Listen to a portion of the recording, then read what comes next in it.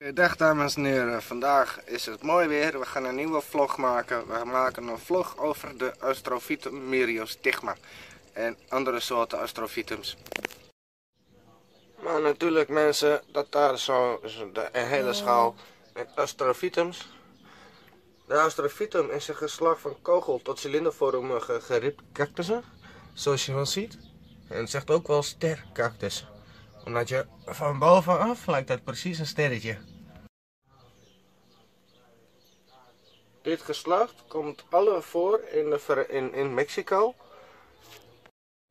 Van de soort Astrophytum asterias. Zij zijn ook populair in Texas en de Verenigde Staten, mensen. Jawel, dus op verschillende plekken. De naam van het geslacht komt voor uit het Griekse en de woorden bestaan voor astron betekent ster en phyton betekent plant. Dus eigenlijk ster, plant. Astrophytum. Van bovenaf gezien is duidelijk waarom ze men sterplanten is gaan noemen. Dat kun je wel zien door het stervormige patroon. Je hebt namelijk geslachten die zijn bedorend, maar je hebt ook geslachten die zijn niet bedorend. Het is heel verschillend bij de astrofyten, maar ze vormen bijna allemaal een ster. Eigenlijk zo goed als allemaal. Alle astrofytums bevatten een sterrenvormig patroon en dat is ook wel te zien.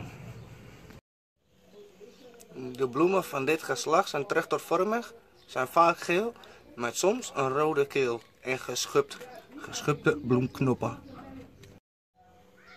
De bloeiperiode van de meeste Astrophytum geslachten zijn eigenlijk zomers. Ze komen vrijwel solitair voor, omdat alleen oudere exemplaren die geven af en toe een zijstengel. Dus alleen oudere exemplaren doen dat. Voor de rest leven ze vrijwel solitair.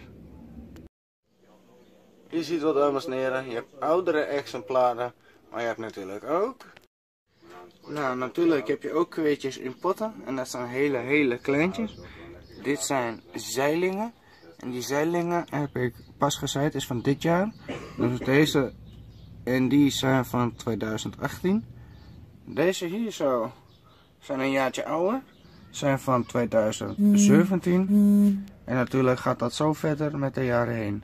Maar deze mensen, deze zijn kleine mix astrophytums.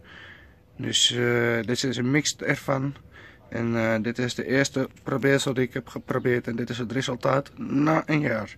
Dus deze plantjes die je hier ziet zijn één jaar oud. De Astrophytum soorten en kruisingen zijn populair als kamerplant. En zijn erg geliefd door mensen en kwekers omdat het een gemakkelijk te kweken plant is. Ze zijn super makkelijk.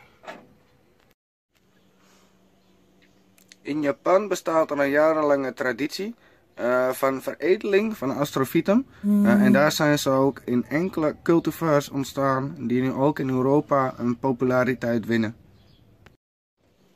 Uiteraard zei ik gewoon in plastic bekertjes, zoals ook wel te zien is. Ik schrijf de naam erop, niet de datum, maar wel de naam omdat ik de datum weet.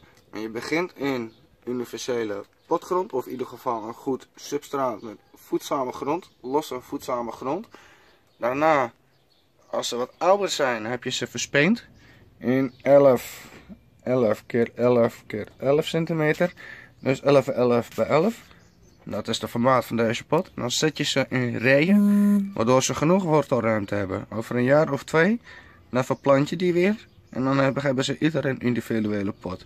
Maar zo mensen kun je Astrophytums voortkweken uit zaad. Maar natuurlijk als je zo'n substraat hebt, dan is dit een ander grondje. Want je ziet hier de universele potgrond. En hier zo heb ik een laag fijner zand erop gedaan. Je ziet dat hij helemaal groen wordt. Dus het zou ook brekerzand kunnen wezen of een ander goedje. Wat handig is tegen uh, mossen, algen, schimmels en dat soort dergelijke. En uh, het substraat bestaat uit, bij volwassen exemplaren, uit uh, één deel brekersand, twee delen lavagruis en een deel universele potgrond en een deel Terra Professional kanaaarde. Jawel mensen, hier zie je weer een grondje. Dit grondje is hetzelfde substraat als wat ik heb beschreven. En dan krijg je zo'n grof structuur van. juist voor woestijnsoorten. Maar natuurlijk, als je zand of uh, gevaar grind of grof zand dan uh, om wortelhals legt, voorkomt ook, uh, voorkomt ook schimmels en rottingsgevaren tegen te, te, veel vocht en kou, vooral in de winterrust. Zet deze zijsels natuurlijk uit het licht en wel veel licht, maar geen direct zonlicht, want dan kunnen ze verbranden. Dus deze zeilingen nooit te lang in de volle zon. Maar natuurlijk zie je dat de grond vrijwel vochtig is. Dat vinden cactuszaadjes ook helemaal niet erg. Maar uh, als ze wat ouder worden, verminder je steeds minder met, verminder je steeds meer met water geven. Dus je vermindert het met stukje bij beetje. Elke maand een klein beetje extra. Dus een klein beetje minder. Dus uh, ja, zo af en toe aflossen tussen droog en licht vochtig. Dat is goed voor ze. Ze mogen nooit te lang droog staan, want dan gaan ze weer dood. Houd de aarde van de licht lichtvochtig, soms iets droger dan de andere keer. Dat is het spreekwijze. De Astrophytum soorten en geslachten zijn geslachten met vaak vrijwel witte spikkels, waardoor je ze makkelijk kan herkennen. Zo hier, het beginsel, kleine witte spikkels. Het is een mix natuurlijk, Astrophytum mix, dus kunnen verschillende soorten opstaan. En ook hier uiteindelijk plaats je ze in rijen. En als je ze in rijen hebt geplant, blijven ze in twee jaar zitten. En uh, dan uh, kun je ze oppoten naar een eigen potje. Maar dit zijn één jaar oude planten. Deze zijn van dit jaar. En ga zo maar door. Zo kweken we alleen maar door. Dit is een voorbeeld van de Astrophytum. En de naam Astrophytum staat ook wel voor mijter van de bishop. Dus dat betekent de naam Astrophytum ook wel. Dus of stercactus of uh, mijter van de bishop. Kan allebei. Wel dames en heren, natuurlijk was dit weer een vlog van de Astrophytum in de plantenkast. En uh, vond je het een leuke video, graag even een duimpje. En uh, even abonneren op mijn kanaal. En tot ziens. Doeg! Hallo mensen, vandaag weer een vlog. Vandaag gaat het weer over een cactus en een specifiek soort cactus. En eigenlijk wel een heel speciaaltje van zichzelf. Het uh, is namelijk een uh, peyote. Of uh, zogezegd uh, valse peyote. Er zijn verschillende soorten. En dit gaat om de Lophophora williamsi. En de Lophophora diffusa. Maar in eerste instantie bespreken we eerst de standaard dingen. Zoals uh, oorspronkelijke achtergrond tussen de zuidelijke Verenigde Staten en Mexico deze cactus is doornloos en bevat een zware psychedelische afweer als deze wordt genuttigd. Dus als men deze of dieren de cactus eet, dan kunnen ze een zware psychedelische trip krijgen, waardoor ze zich helemaal niet prettig voelen, dingen kunnen zien die er niet zijn en helemaal crazy kunnen worden. Als je te veel gebruikt, dan kan het leiden tot psychoses. Dus zo'n cactus moet je niet zomaar eten. Het is namelijk zo dat als je deze cactus eet, dan krijg je een soort uh, hallucinaties. En uh, ja, uh, deze hallucinaties worden veroorzaakt door de mescaline. En het stofje wat zich uitscheidt, wat in deze plant zit. En dat, heet, dat is een of andere harddruk. het wordt ook bij smartshops verkocht. En ja, ik ga er ook een pak kopen bij deze. het is namelijk zo, mensen, dat uh, de mescaline is giftig. Dus daar ga je rare dingen van doen. Moet je helemaal niet willen, moet je helemaal niet willen. Maar laat dat vooral niet door een dier eten. Het is juist een afweersysteem van de natuur, omgeving, natuurlijke omgeving. Want ja, ehm, die dieren die deze plant eten, die krijgen die stof binnen. En die schrikken hier zo erg van dat ze er nooit meer aan eten. Dus van nature worden ze niet veel gegeten, maar ze worden gegeten. En ook mensen die eten ze en die produceren ook die mescaline van die cactus. En uh, die benuttigen dat ook, dat soort dingen. En uh, ja, het is gewoon in een smartshop te verkopen. Bijvoorbeeld Amsterdam, Leiden, Amsterdam, Nederland. Dus uh, ja. gewoon te kopen in de smartshop, mensen. Een cactus die je koopt in een smartshop. Ik vond hem knap. Toen ik het hoorde. Het kan natuurlijk ook zijn dat uh, als uh, je deze cactus te veel eet, dan ga je gekke dingen doen. En dan denk je dat je net zo kan vliegen als Herman Brood. En uh, dat moet natuurlijk niet, hè. Dat is natuurlijk niet de bedoeling. Het is namelijk zo dat Indianen in vroegere tijden en nu, zoals in 2018, is het zelfs mogelijk dat Indianen die planten eten voor geneeskrachtige doeleinden. Er worden in de wetenschap ook met deze mescaline gekweekt uh, en getest en dingen. Dus de mescaline is een geneeskundig kruid. En van nature en Indianen die gebruiken het allemaal als psychedelische drugs. Dus uh, voor hallucinaties, geestelijke verdrijving, ga zo door. Mescaline schijnt in elk geloof wel uh, een beetje anders te wezen. Want de Indianen die nuttigen voor spirituele dingen en uh, ervaringen en dingen. En dat soort gekke taferelen. Maar dan zo zijn er nog veel meer van die punten. En het draait allemaal om één cactus. Alhoewel twee soorten. De Lophophora en de San Pedro. Ze zijn allebei de mescaline cactus. Maar uh, ik begin natuurlijk met de Lophophora. En die laat ik hierna zien. Nou, je ziet, ik heb de deur van het kiertje. Ik zit zelf nu in de cactuskas. Hier hebben wij de cactussen. Die ik allemaal in een potje heb gezet. En van al die cactussen gaat het nog steeds om één soortje. En dat is de Lophophora williamsi. En dat is uh, een van deze cactussen. En jawel. We gaan er alvast naartoe. Dit, dames en heren, is nou een Lophophora williamsi. Dit is nou de Priota cactussen. Bijna 20, 25, bijna 20 euro de stuk. 20 à 25 euro per stuk. Van deze grote. Dit is een mescaline cactus. Vormt allemaal kleine bolletjes. Maar eerst in de groeikroon krijgt hij eerst uh, een bloemetje. Het wordt heel langzaam een bolletje. En per bolletje wordt het langzaam groter.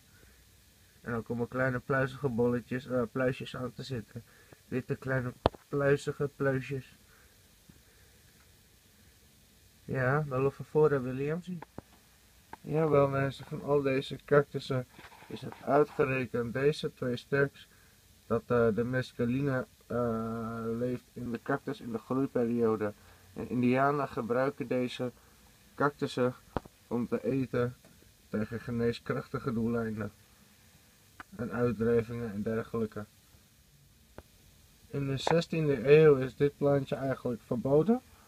Dit kleine plantje is eigenlijk verboden in de 16e eeuw, maar door de vele moderne tijd van teelt is het toch weer mogelijk om als verzameling om de Lophophora Williamsi ertussen te hebben. Het is dus mogelijk, dames en heren. Het is mogelijk in 2018. Want uh, vanaf de 16e eeuw is dit eigenlijk als illegaal plantje beschouwd. Maar nu door de moderne kweek niet meer. Je ziet ook wel, hè? ik heb diverse cactussen staan. En uh, toch is de Lophophora williamsi het meest speciaal van hen allemaal. En waarom? De uh, peyote cactus, ook wel genoemd. Dus uh, de, of, de williamsi is een uh, mescaline cactus. En valt onder de Lophophora familie. En dit zijn ze, de williamsi. Deze bollen groeien uiteindelijk van donkergrijs naar lichtgroen.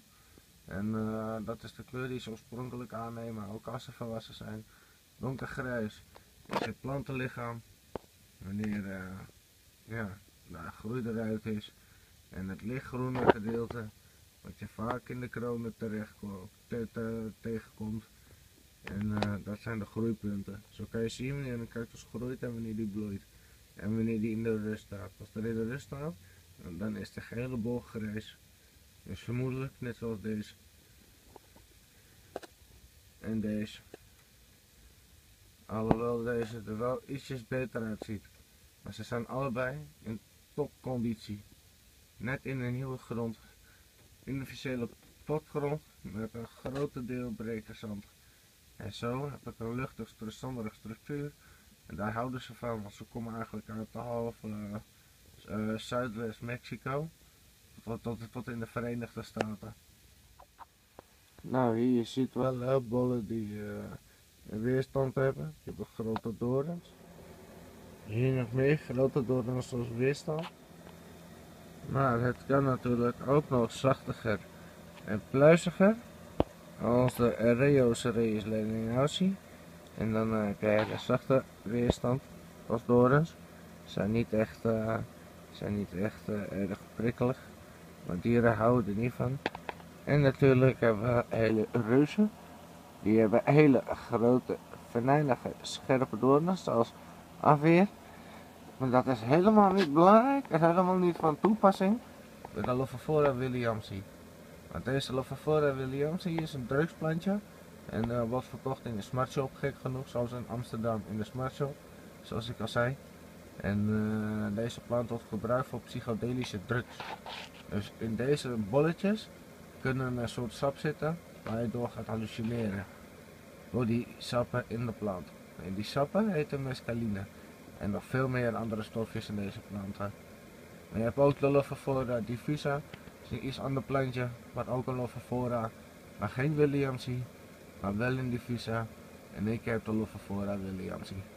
Dat weet ik heel zeker, want ze komen uit de smartshop.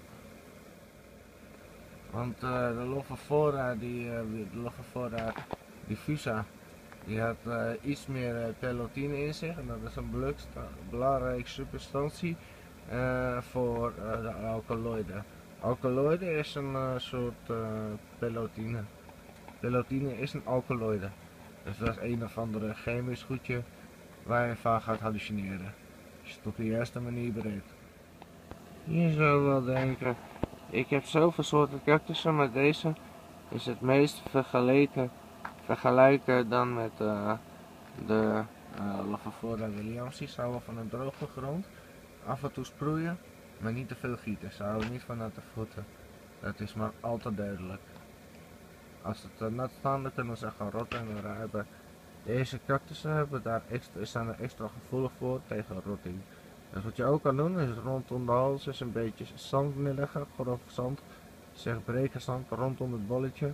Niet erop natuurlijk, maar er rondomheen. En uh, die zand die zorgt ervoor dat het water weggezogen wordt bij de bovenaan. En die zuigt het meer naar de zijkanten toe. Dus meer naar de zijranden. Dus uh, dan blijft het bolletje vrij van water. Dus dat scheelt alleen maar tegen rottingsgevaar. Deze planten schijnen nogal gevoelig te zijn voor wortelrot. Dus extra voorzichtig wezen met deze planten te geven. Als je deze planten hebt in een kas, zoals ik, in een kas, met een kacheltje, maar dit is in de kas. En uh, als je dat hebt, dan uh, heb je een prachtig exemplaar in je collectie. Dus net zoals al deze cactussen hebben allemaal een weerstand deze twee cactussen hebben een speciale weerstand zijn de enige twee in de hele kast die ik heb. Van alle diverse soorten cactussen, dat deze de enige twee zijn waar mescaline in zit. Mescaline is een soort uh. Dus mensen, probeer ze niet uit en uh, eet ze vooral niet op. Is niet goed voor je, geen gekke dingen voorzien. Echt waar. Als je deze dingen eet, dan kan je ook net zoals space als helemaal brood en dan denk je ook dat je kan vliegen en dat valt verkeerd af. Zoals bij vele verhalen. Dus uh, deze plant zeer kleine doses eten. En kan ook gebruikt worden voor hypnoticum, want wordt ook gebruikt in de geneeskunde. En aangezien ik de kas heb betegeld, zoals, ook wel duidelijk te zien is, ik heb de kas betegeld. Heel netjes gedaan, vond ik zelf. Heel netjes. Netjes het stroommokje stroomblokje en natuurlijk de rest van de mooie hoek. Jawel, hele mooie ruimtes. Hele mooie ruimtes om wat te stallen. Jawel, om wat te stallen, zoals een krukje. Maar uh, ja, dat is niet alleen. Even goed zoeken. Er liggen hier ook bloeddruppels. Heb, je zou denken een bloeddruppel, moet je daar nou mee? Dit is een bloeddruppel van mijn hand. Omdat ik uh, deze tegels gelegd heb. Dat de planten zitten met hand. En uh, zo ziet mijn hand er nu uit. Beetje beurs en zo. Maar geeft niet. Dit is dus de Casper tegeltunnel. Ook bij het stormblokje. Lekker veilig, geborgen en wel. Voor speciaal voor de Loffenvoren Williamsie. Want dat is de duurste cactus, een van de duurdere cactus die ik heb. Qua hoeveelheid, dus één is zo'n klein schattig bolletje. Eén zo'n schattig bolletje is 20 euro. Ik heb namelijk nog een cactus, die is 30 euro, maar dat is een hele grote bos. Is een bush. Maar dit is dan de duurste en de kleinste die ik heb. Niet de kleinste cactus, maar wel de duurste kleinste. Ja, zeg geen mij cactus dit. Deze cactus heeft namelijk geen dorens, zoals je al zag. Hij heeft niet echt een dorentje. En, uh, en deze cactus bevat dus mescaline. En dat is erg gevaarlijk. Als dieren dit eten, dan kunnen ze er ook dood aan gaan. Dieren houden er niet van en kunnen er dood aan gaan. Mensen, die kunnen het overleven, standaard, met niet te veel, anders heb je een overdosis. Maar je kan gedoseerd kan dit gebruiken. En het wordt ook gebruikt voor hypnoticum, zoals ik al zei. Dus voor hypnosis. Dus deze cactus is niet enkel uh, illegaal, maar nu legaal. Maar dat niet alleen, het is ook nog eens een heel bijzonder iets. Want dit is een plant wat bijna geen enkele andere aardplant een eigenschap van. Ze blijven laag, ze blijven klein, worden kleiner knollen. Uiteindelijk wordt het een dik bolletje met allemaal knolletjes erop. En uh, dat één stammetje, maar allemaal knolletjes erop. Dat vormt dan uiteindelijk de Lophophora williamsi.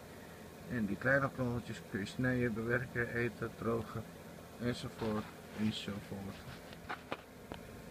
Dus deze zijn leuk, vind ik. Deze zijn leuk, vind ik. Deze is leuk, vind ik. Deze is leuk, vind ik. Deze ook leuk vind ik. En al gauw heb je in een collectie twee Lovefora Liliamsies. Twee prachtige plantjes. Prachtig aan is van vandaag, het is nu net maart. En uh, ik ben blij dat ik deze nu in bezit heb. Want uh, het is toch een leuke plant om in een collectie te hebben. Deze bloemen bloeien roze, wit of geelachtig. Dus uh, kan een kleur verschillen. Deze planten die groeien onder struiken van nature aan rivierbeddingen en bergen en zanderige gedeeltes. Dus half woestijnachtig. Vooral onder schaduw, uh, in een schaduw onder de planten, onder de grote diverse struiken. Daar schuilen deze graag onder. Van nature. Dus zorg ook dat ze niet de hele dag volop licht krijgen. Want elke dag volop zon kan ze ook doen verbranden. Daarom staan ze van nature ook in de schaduw. Het liefst. Deze planten zijn prima te stekken en te zaaien. Ze zijn goede planten om te vermeerderen. Maar vooral stekken is het meest makkelijke. Maar zaaien ook zeker mogelijk. Om de, om de glas dan in een uh, kas of op een vensterbank. Op een lichte plek. Nou, ik zou zeggen, laten we even voorruimen, planten maar even met rust. Ze hebben vandaag een hele verbouwing meegemaakt. We zijn weer hergeplaatst. En het ging om dit plantje, de Lophophora Williamsie. En uh, dit was hem dan. De plant Lophophora diffusa bevat 0 tot hoeveel sporenhoeveelheden mescaline. Uh, pelotine is de belangrijkste alkaloïde. Pelotine is een, is een alkaloïde die wordt aangetroffen in Lophophora soorten. Pelotine is lichtverdovend en werd in de geneeskunde gebruikt als hypnoticum in zeer kleine doses, zoals ik al zei. Geef deze plant in de lente later water dan de rest en in de herfst al eerder, met, eerder verminderen met water geven. Wel kan ze nu en dan wat geneveld worden, zeker in de start- en de winterperiode nevelen. Niet in één keer gieten, eerst nevelen. En waarom? Deze planten hebben eerder kans op wortelrot. En dat wil je niet, want daar zijn ze duur voor. Natuurlijk wel vraag je je af, wat ga je deze plant nou voor aarde geven? Nou, ik heb ongeveer een richtinglijn wat deze planten fijn vinden. En uh, hier komt die. Ze vinden natuurlijk een deel leuk, of is een bepaalde grondsoort lekker, omdat ze half woestijnachtig zijn, ophellingen en rivierbeddingen. Dus kom je toch wel op droge, kalkachtige grond met flink wat door water latendheid uh, qua water. Want die planten houden niet van langdurige natte voeten, want dan gaan ze uh, dood.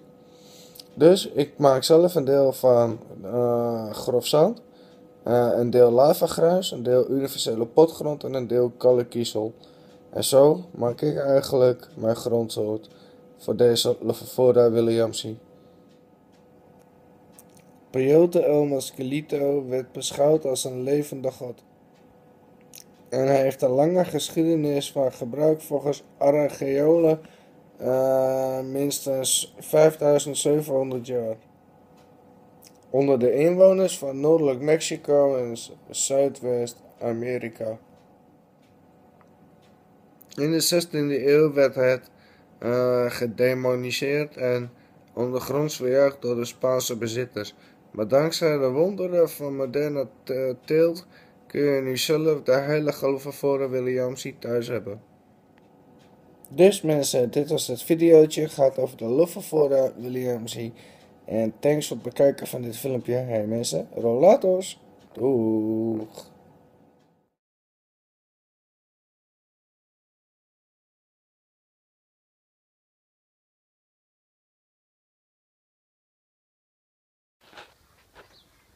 Hallo mensen, vandaag gaan we weer een cactuskijkje nemen in de cactuskijs bij de Echinocactus grusoni. Het betreft die cactus, deze en die erachter. Dus de Echinocactus grusoni. Nou, zoals ik de naam al had genoemd, is de Latijnse naam Echinocactus grusoni en de Nederlandse naam schoonmoederstoel. De naam is afgeleid van het Grieks echinos, dat betekent egel of stekelvarken. En vanwege cactus, dus de naam cactus van echinocactus, is vanwege het grote dichte aantal uh, hoe heet dat? Uh, dicht op elkaar staande dorens in de areolen. De bloemen van deze cactus zijn geel of roodgeel, bijna helemaal tussen de areolen ingescholen. Deze, echin, uh, ja, deze Echinocactus gressoni uh, komt oorspronkelijk uit de bergen van Midden-Mexico. Deze cactussen verdragen veel zon en kunnen ook wel goed tegen de kou mits dat ze droog worden gehouden, geheel droog.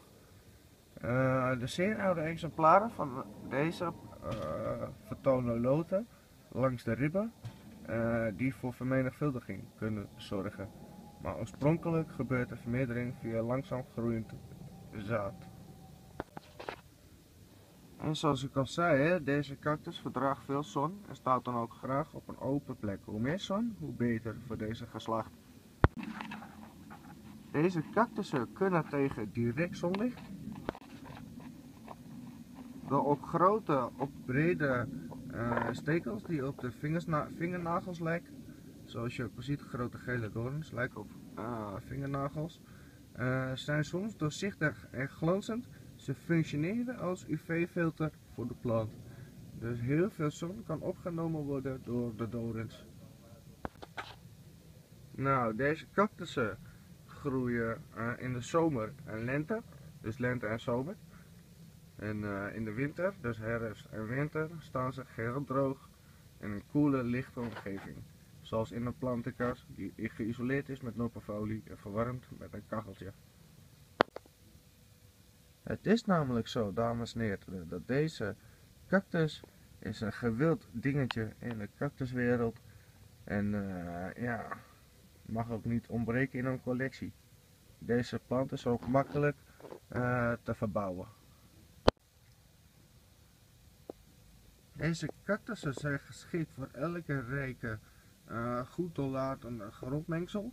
Zoals uh, klei, steenpuin, lavagruis en slechts een beetje turf of platform. Deze cactussen zijn dus heel makkelijk in de verzorging. Kunnen veel hebben als, het, als het maar goed waterdoorlatend is. Als deze wordt verpot, verpot dan in de lente als de wortels te krap worden. En natuurlijk, zoals ik zei, ze kunnen lichte vorst verdragen. Lichte, kortdurende vorst. Maar liever niet. Dit maakt het dus ook een prima beginnende kasplant of beginnende plant voor de beginnende cactusliefhebber. Deze plant is zo gemakkelijk dat iedereen het kan. Met de juiste verzorging kan iedereen het. Ze kan flink groeien na een paar jaar, maar uiteindelijk meer in de hoogte. Ze houdt namelijk niet van natte voeten en legt daarom onder in de pot een flinke laag zand of een paar scherfjes, maar in ieder geval een laag zand om beter af te wateren. En zo zorg je ervoor dat de wortelhals droog blijft van water, dus dat het goed doorvloeit. De plant mag namelijk niet uh, te nat worden, want uh, dan kan hij vlug gaan rotten. Ze staat graag op het zuiden en uh, vooral zomers in de open lucht en in de open tuin. Jawel mensen, dit was weer een video over de Echinocactus grisoni en de verzorging ervan. Nu uh, ga ik heerlijk even genieten van een bak koffie. Ik ben klaar met deze cactus en het vloggen. En ik hoop dat jullie het leuk vonden. Geef graag een duimpje als je het leuk vindt en like het natuurlijk. En uh, graag abonneren en groetjes en tot ziens. Hallo allemaal.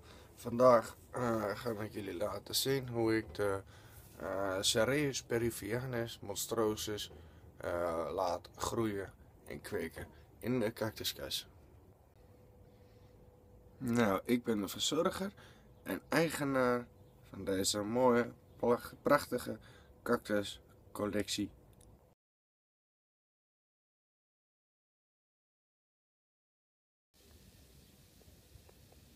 Ik kweek namelijk al vanaf mijn tiende jaar.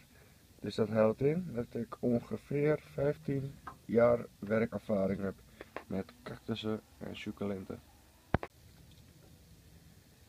Ik ben door de jaren heen ben ik eigenlijk wel wat meer ervaren geworden in bepaalde soorten en bepaalde handelingen en uh, van deze prikkelige planten.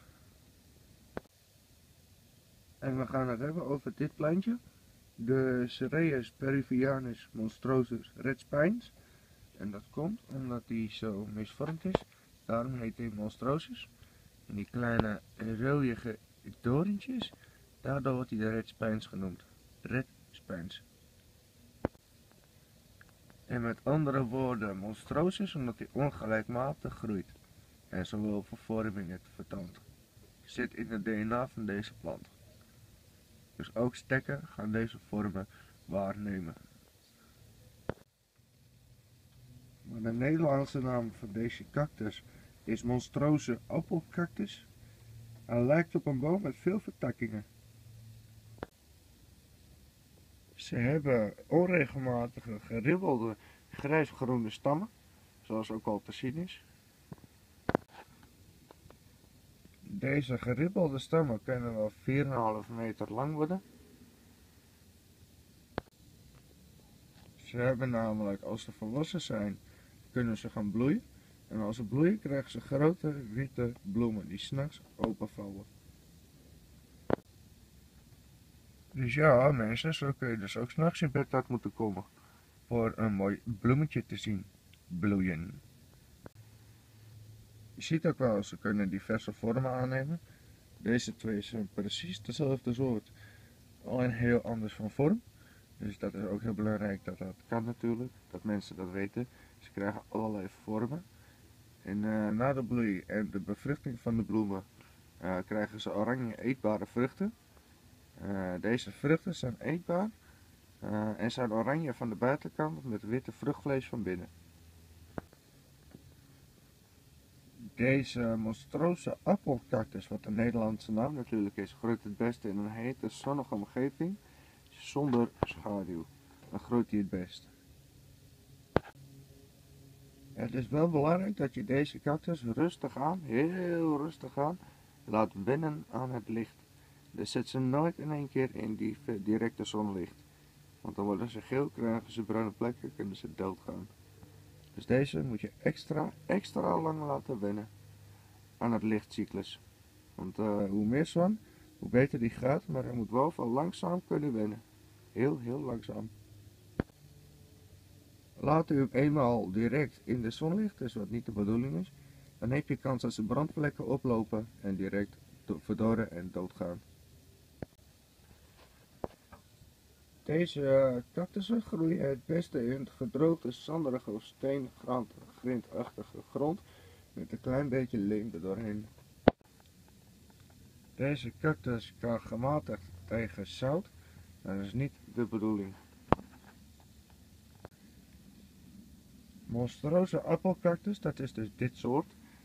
Al deze soorten dan van die monstrose appelcactussen. Daar zijn meerdere geslachten van.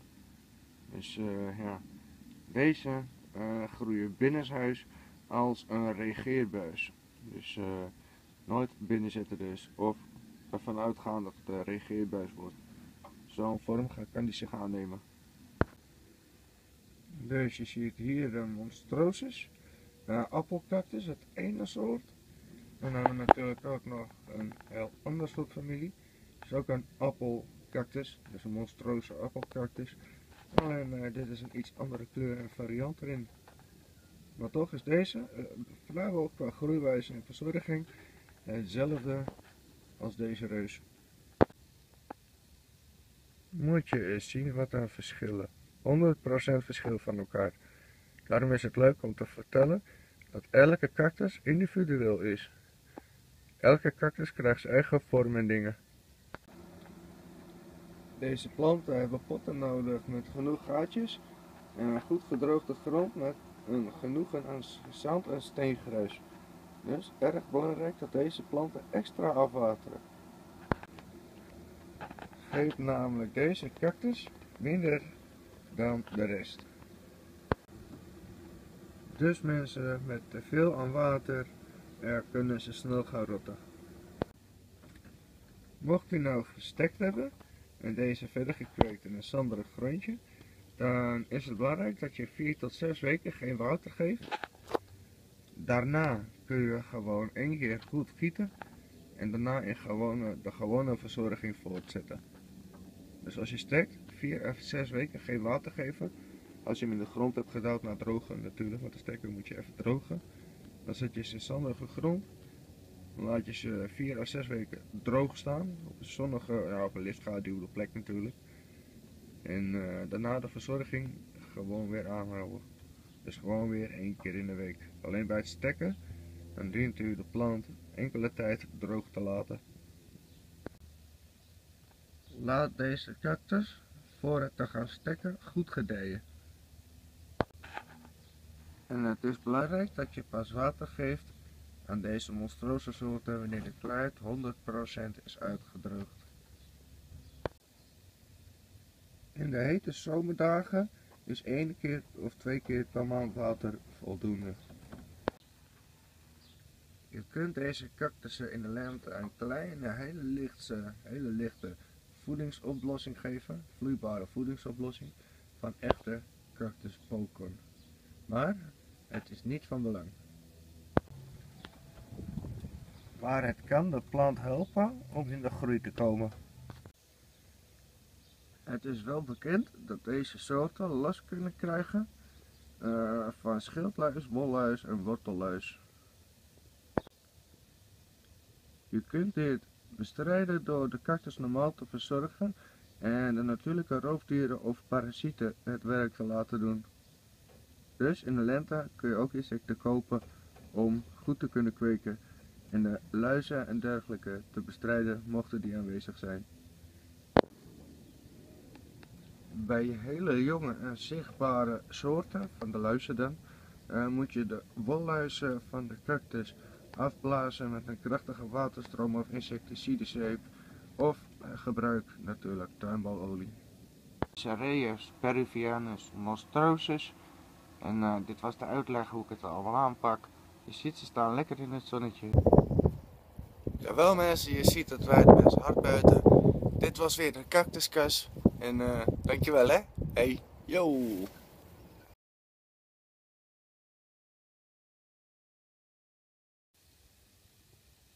Jawel mensen, voor al deze cactussen gaan we specifiek kijken bij deze soort Mammillaria aniana. Hij groeit van nature in Mexico. Eh, kijken. Het is op zich een heel leuk bolletje. Ze groeien algemeen, eh wat was het ook alweer? Ze groeien algemeen eh, 25 centimeter lang. Dus eh, lang. En eh 20 centimeter breed kunnen ze worden. Dus eh, dat worden hele mooie, subtiele, grote, bolle mammillaria's anianas. De bloemen is in de lente of zomer.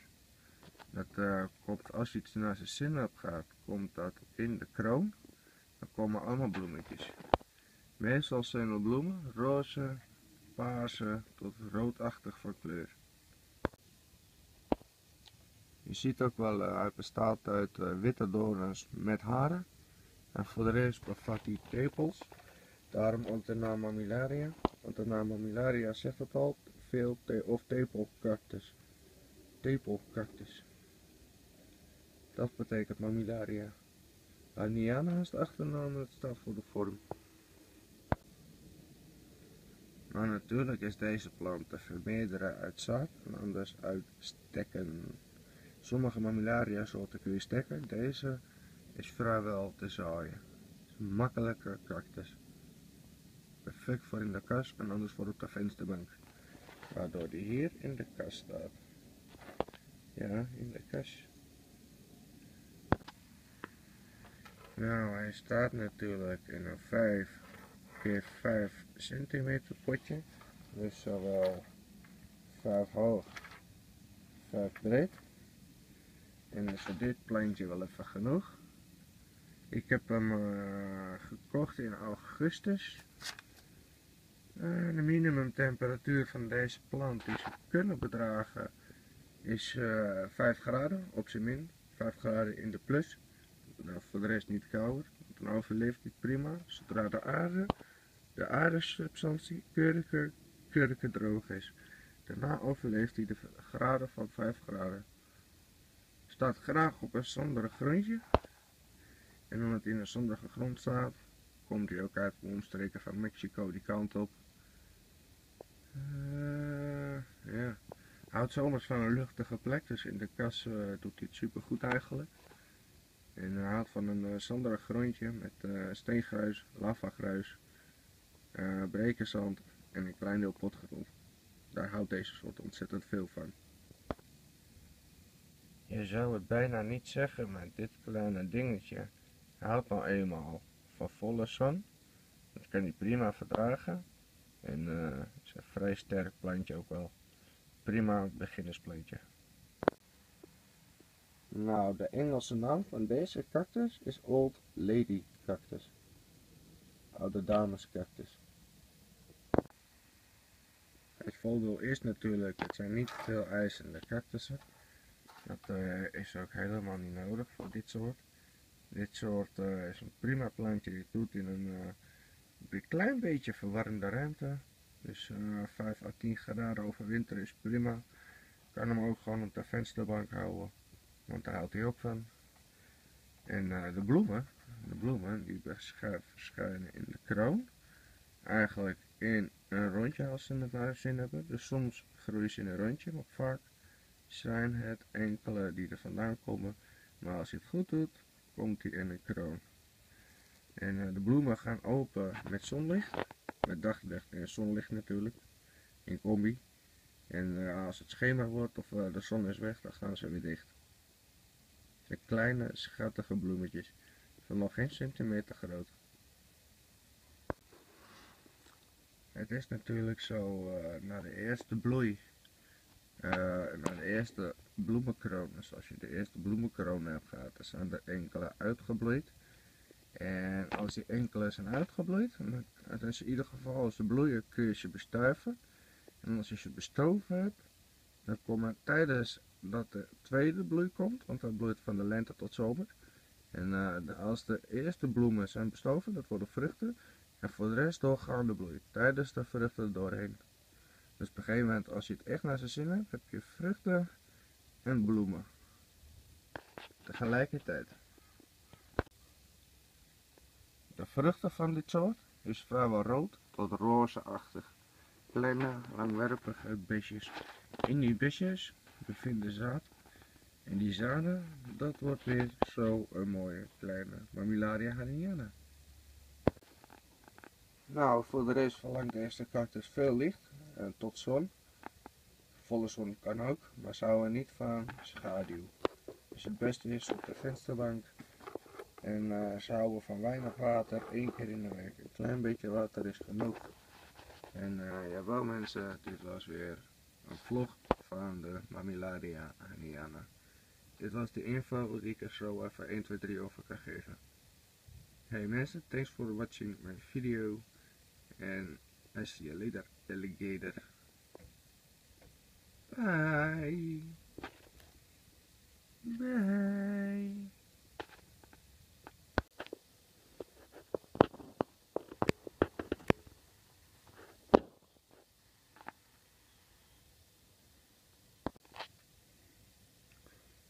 Mamillaria. De Mamillaria. Aniana.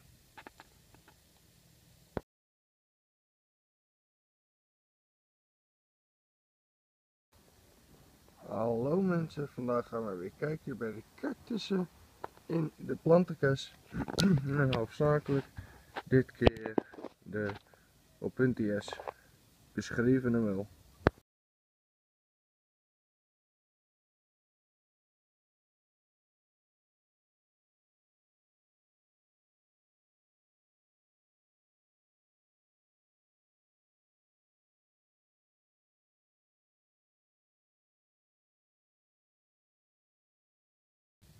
Nou, je ziet dus, je begint klein.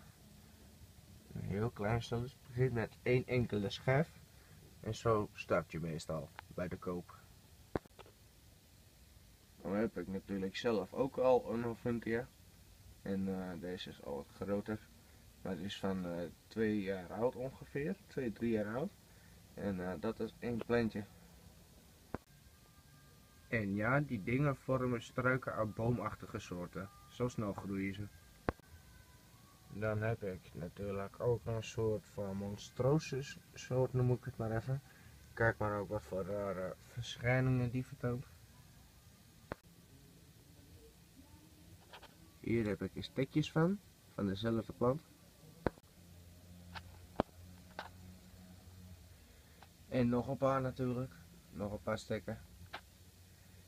Nou, natuurlijk beginnen we bij deze.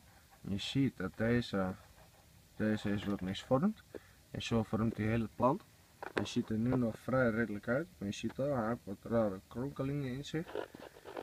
En de bovenkant is ook nog aardig recht. Want het is nog een kleintje. Dit zijn zijn eerste nieuwe schijfjes. En eh, deze onderschijf is de hoofdplant. Geldt ook voor die. Wordt ook een hoofdplant. Want deze scheuten komen ook hierop te zitten. En dan komen hier weer scheuten op en daar weer scheuten op.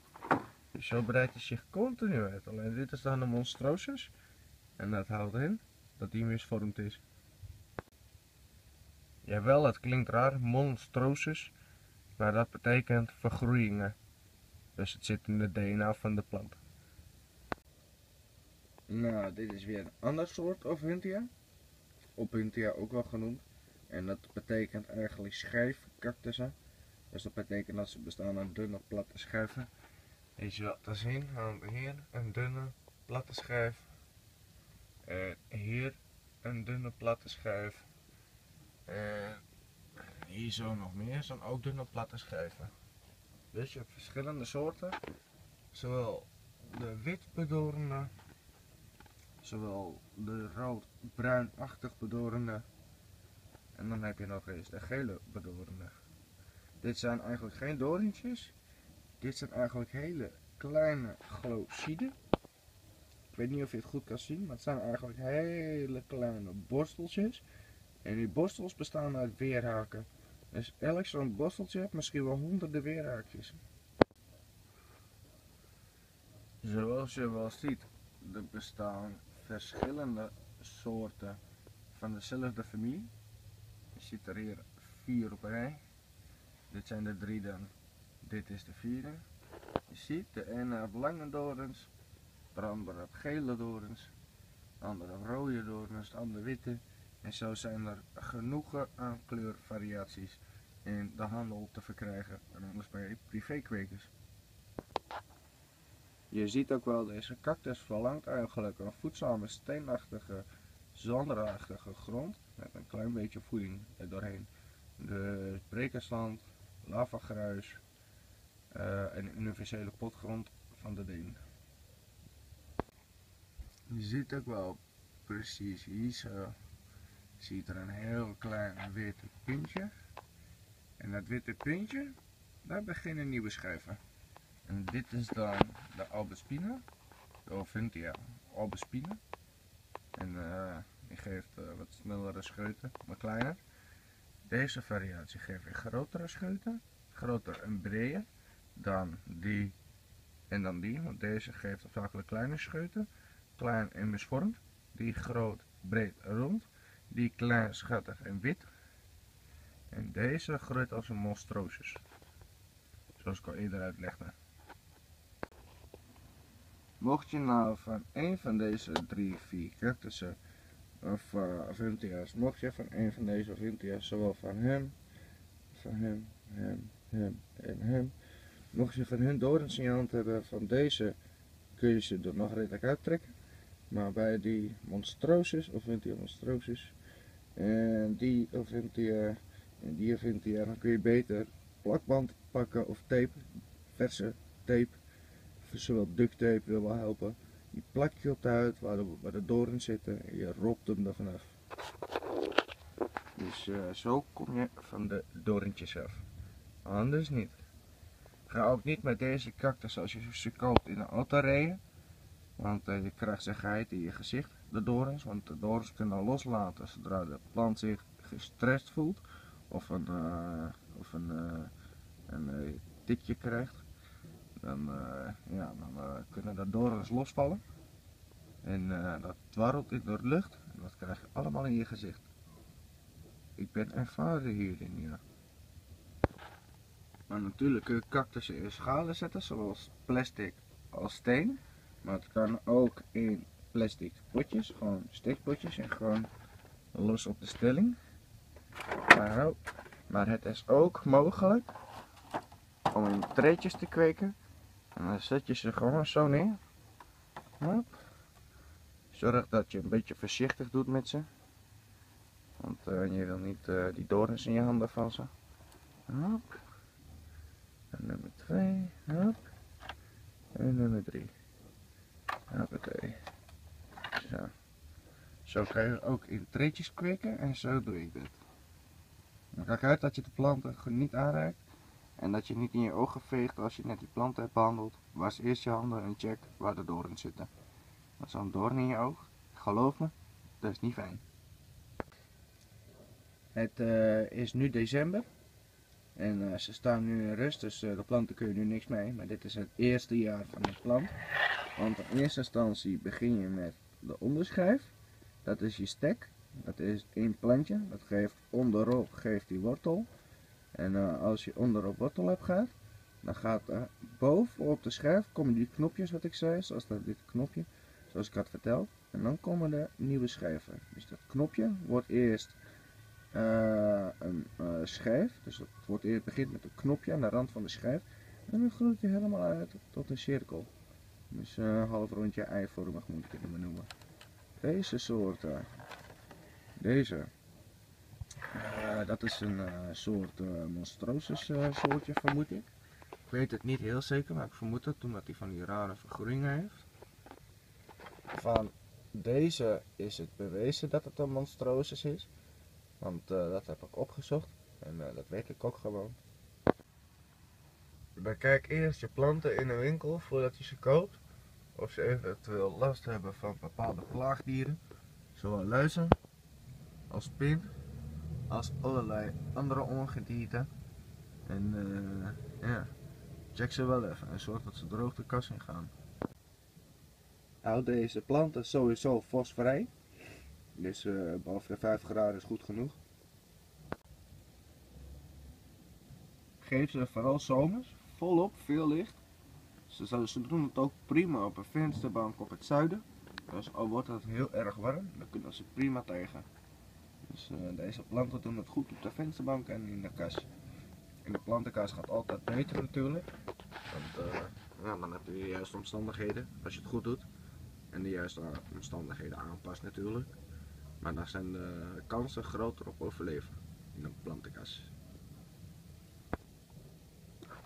Maar ze doen dat natuurlijk ook prima op de vensterbank, zoals ik al zei. Want daar gaan ze ook heel erg goed. Maar dan worden ze snel groot, dan wordt het snel boom tot struikvormig. Wat je niet zou zeggen van deze kleine schattige dingen. Raak deze planten sowieso niet aan en stoot ze vooral niet, want dan laten alle doorns los. Je ziet ook wel dat zijn hele kleine borsteltjes. En die borstels die heten glossiden. Dat zijn hele kleine onvoorziene weerhaakjes. Je ziet ook miljoenen borsteltjes bij elkaar. Dat uiteindelijk een hele plant vormt. En eh, zo een hele wapen kan opbouwen op zijn lichaam van de plant. Dus al die borsteltjes is een afweersysteem voor de dieren in de natuur die ze graag willen eten. Want de Vintia's kun je gewoon het, sap van drinken. Maar het ligt aan bij welke soort. En bij sommige soorten kun je zelfs de vruchten eten. Maar dan moet die eerst gebloeid hebben. Eerst bloeien, vruchten. En dan kun je ze zaaien eventueel eten. De vruchten kun je eten. Zo'n rood, zo, soort rode, rood, bedoelrode-achtige vrucht. Die, aan, die naar de bloem komt zetten. Die vrucht moet je eerst helemaal pellen. Dus eh, met een mes eh, ontdoen eh, van zijn huidje. En ja, en dan het binnenste kun je eten. Is ook berenzoet en de kleurstoffen kunnen ook gebruikt worden voor bepaalde doeleinden die in de vrucht zitten. Tijdens een project op zoek naar eh, prehistorie eh, op de zeebodem hebben ze cactusresten gevonden van dit soort cactussen. En eh, de- die resten die stammen vermoedelijk uit 20.000 jaar geleden. Dus deze cactussen bestaan al eeuwenlang. Maar natuurlijk passen deze planten zich prima aan aan de omgeving en aan wat ze willen en om te overleven. Dus deze planten kunnen zich heel goed aanpassen aan de omgeving. Dus droog, warm, koud, eh, vochtig. Ze kunnen aan vrij veel dingen wennen. Geef ze maar even vijf jaar de tijd. Het gaat zo voorbij in een mensenleven. Maar geef ze maar vijf jaar de tijd en het vormen hele struiken en boomachtige dingen. Want per jaar kan zo'n ring erop groeien. En per schijf kunnen misschien ja, acht, eh, drie, één, eh, acht schijven of zo. Ik zou het niet heel precies weten. Maar per schijf reken je dan. Dus als één schijf, twee schijf, drie schijf, zo kan hij de drie vormen. Maar hij kan ook helemaal vol zitten. Je zou het haast niet zeggen, maar deze cactussen groeien sneller dan, eh, dan eh, gewenst. Je ziet ook wel vier van deze verschillende cactussen. Die zijn nog klein. Ze stekjes feitelijk. Het eerste jaar is bijna voorbij. We gaan bijna 2018 in. En eh, ja, ze zijn van dit jaar, het is nu december. En eh, 2017 is het nu nog. Bijna nieuwjaar. Dus eh, dit is weer een vlog voor de mensen. En eh. Maar eh, ja, hier zie je dan eh, ja, dat de schijven al wat aardig groter zijn. Hij heeft de hoogte van de stelling bereikt. Daar is je goed van op weg. Je ziet dat schijvenopbouw. En eh, zo kan het dus worden. Hoe groter ze zijn, hoe groter de pot, want anders vallen ze om. Dus eh, ja, dit is ook weer een schijfcactus. Ook een opuntia. Je zit hier ook precies hetzelfde. Schijven, opbouw. En eh, zo breidt dat ding zich alleen maar uit. Ja, wel mensen, hier zie je de stekken allemaal bij elkaar. En dit is mijn collectie met uh, Oventia's. Deze zelf gestekt. Deze gekocht. Gestekt. Je ziet het wel hè, gestekt. Uh, gekocht en gekocht. Dus ik heb er 1, 2, 3 gekocht. En dit heb ik allemaal gestekt van... Van deze. Dus, uh, nou, dat was een vlog mensen. Over de scheefcactussen, vijgencactussen, op hun tiers en ga zo maar door. Dus het is allemaal dezelfde familie, maar allemaal andere achternamen, andere uiterlijk. Nou mensen, dankjewel voor het bekijken van deze vlog en ik hoop dat het jullie beviel. En uh, tot snel. Hey, rollatos! Bye! Bye!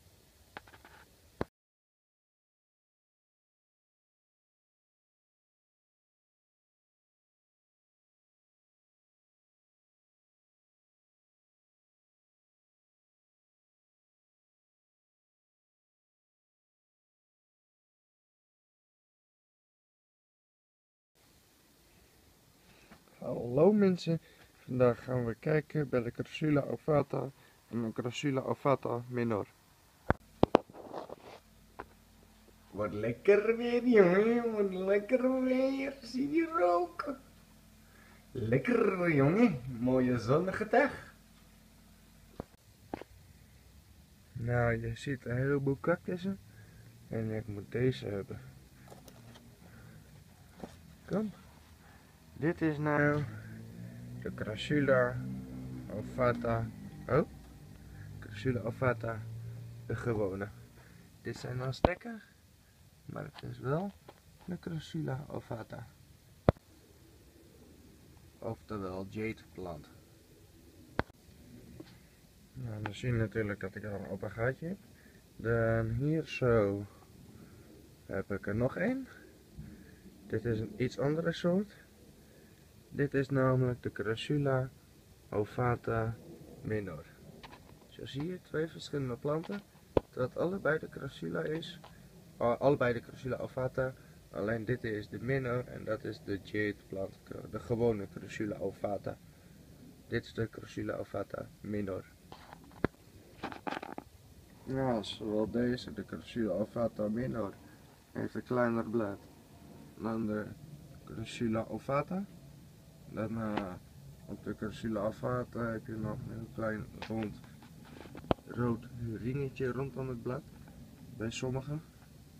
En de Crassula avata minor heeft dat weer minder. Heeft dikke vleeselijke uh, bladeren. En hij staat natuurlijk in een stenen pot. En waarom? Steen zuigt. En aangezien steen zuigt, droogt hij sneller uit. Waardoor hij minder water opvangt. Sneller verdampt en minder snel kan rotten. Daarom deze in plastic. Nou, de plastic werkt ook gewoon super in een plantenkas. En uh, de aarde is ook mooi droog, zoals je wel ziet. Dit waren dan stekken, gekregen van een boer. Dus uh, die had ze in de kantine staan en ik al lang blij. En uh, deze heb ik gekocht. Zie je ook wel een heel klein goedje, heel klein potje. Hout inderdaad van een uh, voedzame, zanderige, licht of uh, luchtdoorlatende grond. Dus uh, zorg voor goede afwatering. Vandaar ook het zand er doorheen. Zowel deze, de Crassula ovata, als de Crassula ovata minor vormen als struiken. Alleen deze heet de Nederlandse naam jadeplant. En deze heet in het Nederlands geldboom. Ja mensen, ja mensen, je hoort het goed, je hoort het goed, een echte geldboom. Alleen komen er geen euro's aan zitten. Maar natuurlijk zijn deze planten te steken via bladstekken, steng of uh, stengelstekken, dus tussenstukken. Dus mocht je hem hier afknippen, kan je dit stukje ook nog gebruiken als je hem hier en daar knipt. Dit dus een stukje gebruiken. Dus zowel bladstek als stengelstek als topstek. Maakt niet uit, alleen wortelstek lukt niet. En hij wordt vermeerderd via zaad. Nou, dit plantje heb ik gekocht eh, bij de Albert Heijn. Voor, uh, even denken, wat was het ook weer? 3 euro. Uh, deze heeft een aanzienlijker, kleiner, ronder blad. Zoals wel te zien is. Omdat het ook de minor heet op het einde, is hij ook kleiner van blad en meer struikvormig. Weer wat meer compacter. Deze, de Nederlandse naam J-plant. En uh, de Latijnse naam uh, Crassula ovata. Die wordt uh, wat grover, groter, ronder blad. Iets langwerpiger. En ja, die wordt ook wel struik tot boomvormig. Van nature worden het struiken en bomen. Dit is dan een pot met stekken. En dit is dan die ik gekocht heb bij de Albert. Ze zeggen op internet dat deze beide twee soorten dat niet kapot te krijgen zijn, behalve als je ze nat zet en min 10. Dan gaan ze dood. Eerder zijn ze niet dood te krijgen. Dus op de vensterbank zullen ze het prima doen. Deze planten zijn inderdaad het hele jaar door op de vensterbank te kweken, zowel te vermeerderen als te kweken. En natuurlijk houden deze soorten van regelmatig nevelen met warm weer.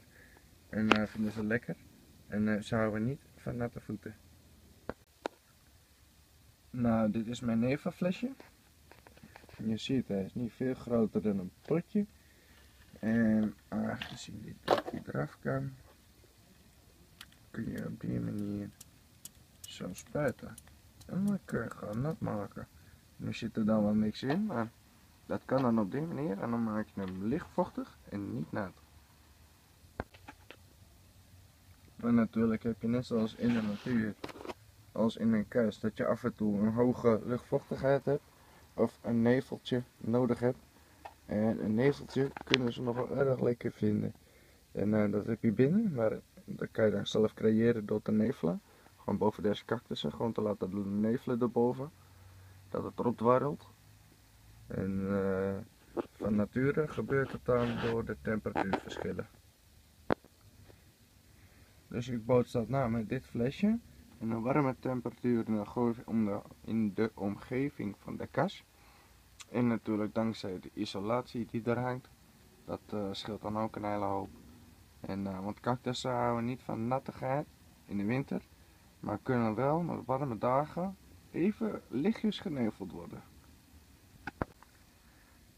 Oh ja, en het is namelijk zo, als je bijvoorbeeld een lange, hele lange tak hebt die lang en dun wordt, dan knip je hem ongeveer op zo'n lengte knip je hem af. Gewoon met je nagels of met een schaartje of een mesje, hoe je het wil doen.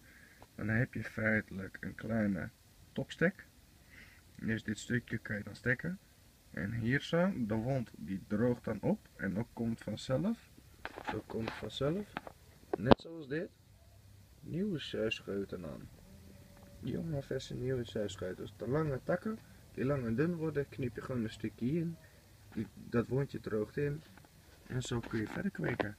En dan kun je dat topstekken gebruiken als die ook gedroogd zijn. Laat ze wel een week drogen. Stop ze daarna in vrijwel voedzame zonder gedroogde grond. Laat ze even wortelen en wennen. En ze groeien gewoon door. Zoals deze. Dit waren topstekken. Maar dat geldt voor deze zowel als voor die. Dat uh, als je te lange dunne tak hebt, knip hem even af.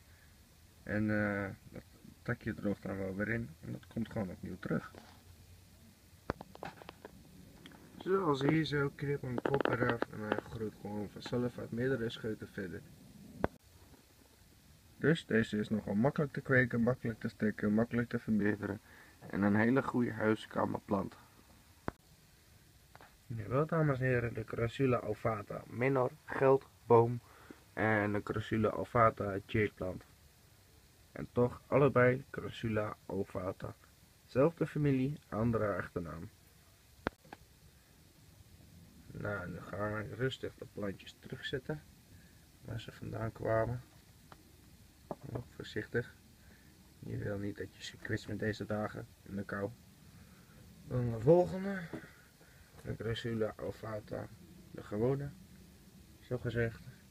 Die gaat terug hier op zijn hoekje. Ja, ertussen. Maar even tussen weet dat weer wiebelen.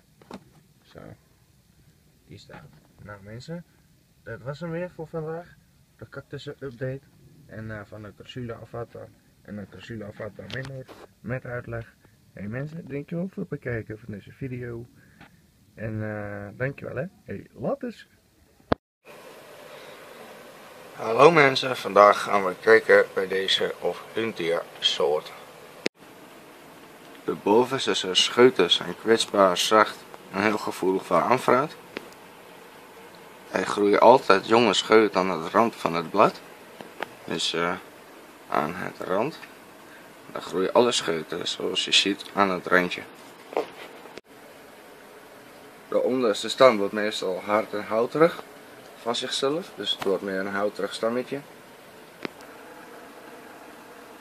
Uiteindelijk zal die aan de randen van de cactus zal die gaan bloeien, voor volwassen leeftijd. Zeg een, een jaartje of 5, 6. Ik zeg, in principe kan het eerste jaar al bloeien, maar het is het mooiste als hij richting een jaartje of 5, 6 bloeit. En is hij ook al een aardige grootte. Want deze scheuten zijn nieuw. En die, sorry, niks aan doen. Maar deze scheuten, deze jetsers, dat is van dit jaar. Waarvan deze ook, is ook van een heel jaar, van dit jaar. En deze zijn de nieuw aankomende. Dit zijn de nieuwste die eraan komen. En je ziet ook plat. Heel plat. Ja. Het zijn allemaal platte, dunne schijven. En dat vormt een Oventia. Maar natuurlijk heb je ook met Oventia's diverse groeivormen en soorten. Waarvan dit één van is. Een Hurazootje. Het is heel gemakkelijk om cactus stekken te maken. Het is heel simpel gedaan. Gewoon door middel van een blad knippen. Laten drogen. In zandige grond en kijk wat hij dan doet. Komt helemaal op terug. Dus ja, van enkel zo'n blad, één blaadje, één volwassen blaadje, krijg je één volwassen plant. Je ziet die kleine zwarte bolletjes, dat waren groeipunten. Daar heb ik schijven vanaf geknipt om hem vorm te geven. Je ziet dat hij weer duidelijk helemaal terug is gekomen. En hier zo was een groeipunt. Zonde hè. Maar hij is er wel mooi op geworden.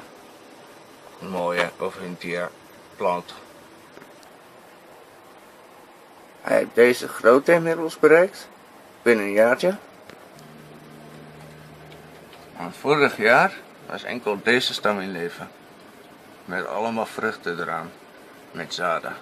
Zo koop je ze. Je koopt één schijf met allemaal bloemetjes. Bloemetjes wat er vrucht. Als je uitgebloeid is, dan krijg je zoiets. Je ziet ook wel als dit het verse blad is. Dat je dan hier zo moet afknippen.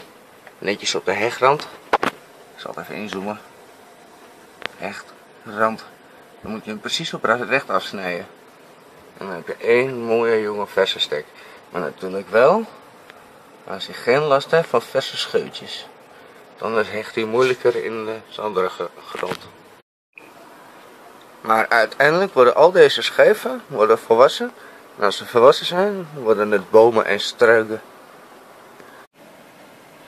Hij wordt juist zo genoemd, omdat als hij gebloeid heeft en vruchten heeft gehad, dan kun je de schijven kun je eten. En ook daar zit heel veel rode kleurstof in. In de groeiperiode geeft hij allemaal hele mooie schijven. Jonge grut noem ik het. Dat is ook bij deze soort alleen maar nieuwe schijven op de oude schijf. Maar dit zijn dan de gevormde schijven.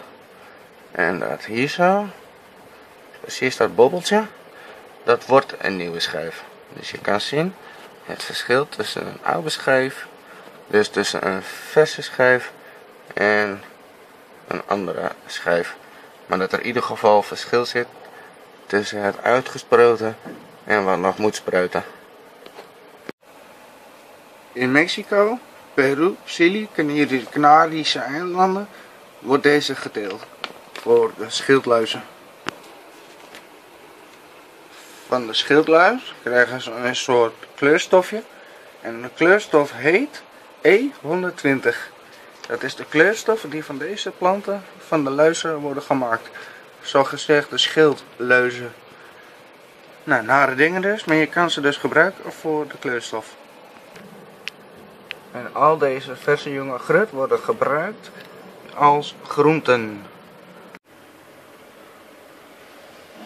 Gebruik handschoenen en kranten om ze te hanteren. Zijn echte zonnetjes liefhebbers, maar ook schaduw kunnen ze waarderen. Maar houden wel van een zonnetje en lekker warm. Eén ding moet ik wel melden bij deze cactussen. Die schijfcactussen worden heel gauw struikvormige planten. Maar ze zijn ideaal voor op de vensterbank. Alleen ja, ze worden te, te, te gauw te groot. Veel te huge dus.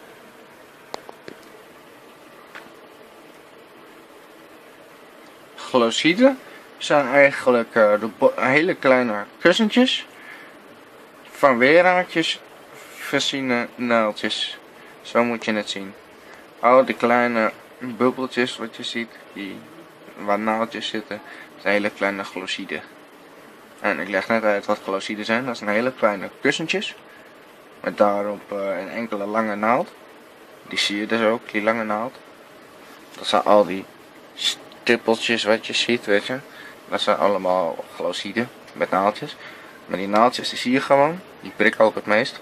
Maar die glossiden, dat zijn kleine kussentjes.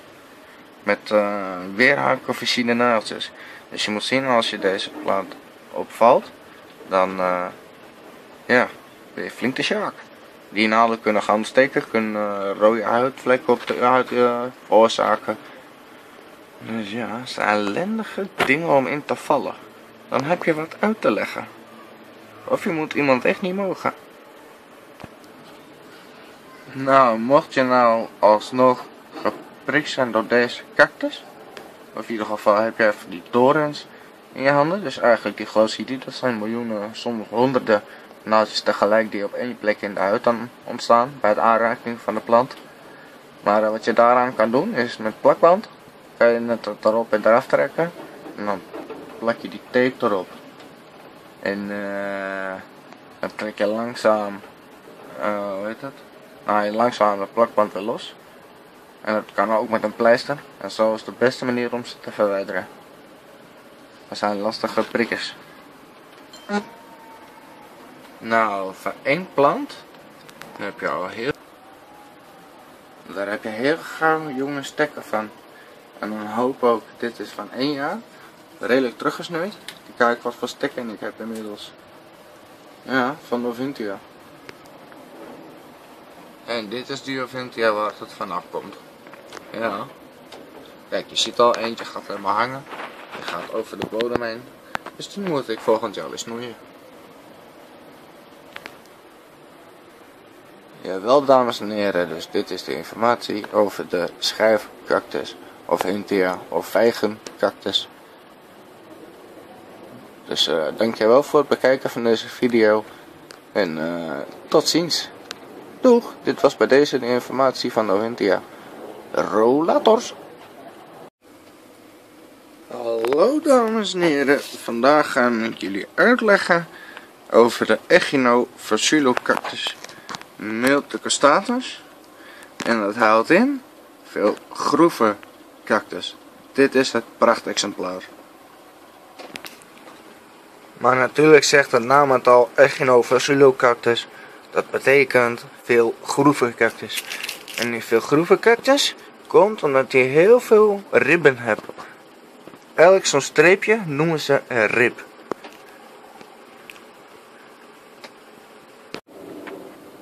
Je ziet ook, het zijn kleine laagblijvende bollen die uiteindelijk breder en ietsjes hoger worden, misschien 20 centimeter hoog max, denk ik, op volwassen leeftijd. En voor de rest gaan ze de breedte in. Het is ook wel te zien. Ze wordt hier niet echt hoog, maar meer breed. Worden uiteindelijk meerdere bollen. Nu vind ik het natuurlijk leuk te vertellen.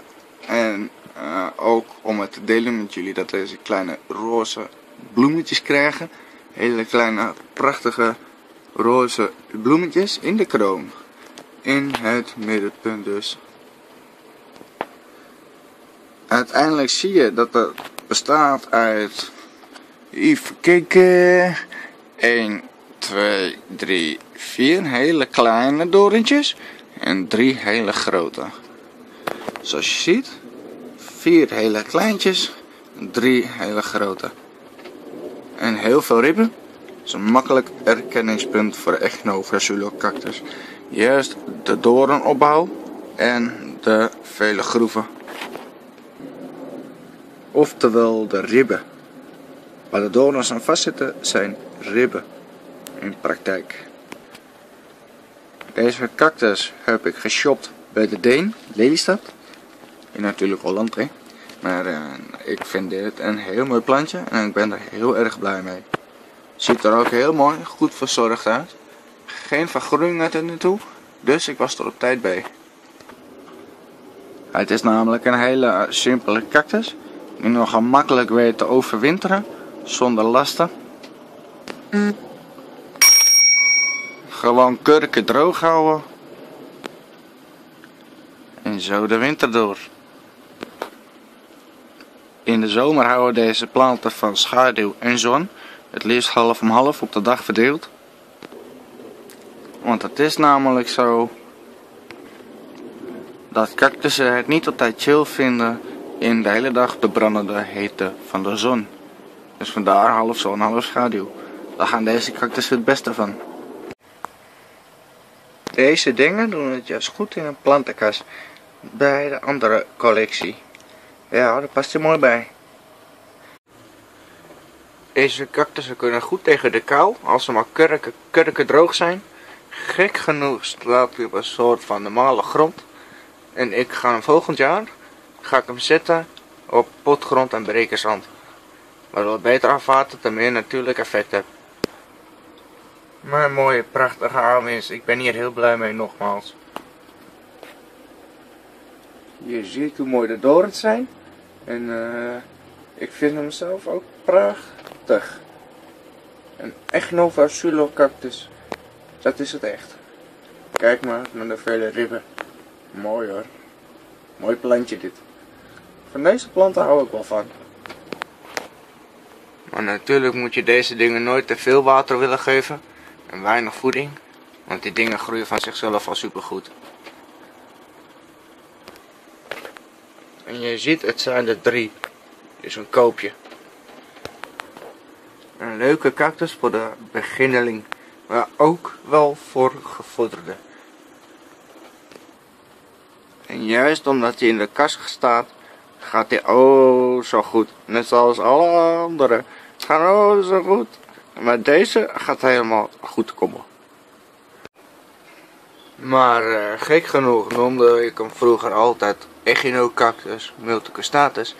Maar de naam is veranderd, kwam ik zojuist achter op internet. Het heet nu Stenocactus. Achternaam is nog onderzoeken, want het is voor mij totaal wat nieuws.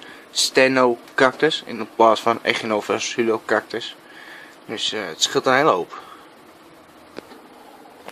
Want als je de opbouw van dorens weet en hoe ze in elkaar steken, hoe ze vormen, zoals drie grote, vier kleine, zoals ik uitlegde, dan kan je er ook achter komen hoe de plant uh, heet op internet en dan kan je ook alles nazoeken. En uh, dit is dus een stenocactus. Want vroeger, toen ik jong was, uh, toen heette ze Echinophyllocactus vanwege de vele ribben. En daar stond hij echt heel cactus voor. Maar nu is hij veranderd naar Stenocactus. Ik vind hem best. Ik ben er alsnog even blij mee. En deze bloemen kunnen ze krijgen. Een andere naam voor deze cactus is ook wel brain cactus. Omdat dat ook wel lijkt op een hersenpan.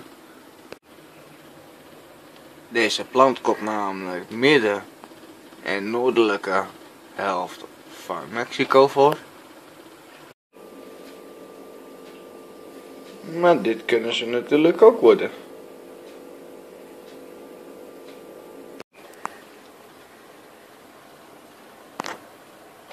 Deze cactus houdt van een soort uh, goede grond.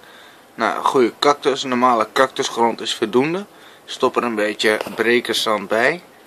Want daar houdt u wel van, een goede drainage. Deze plant houdt ervan om zomers of in de winter en zo lekker in het zonnetje te staan. In een kas en zo. Wel cool in de winter.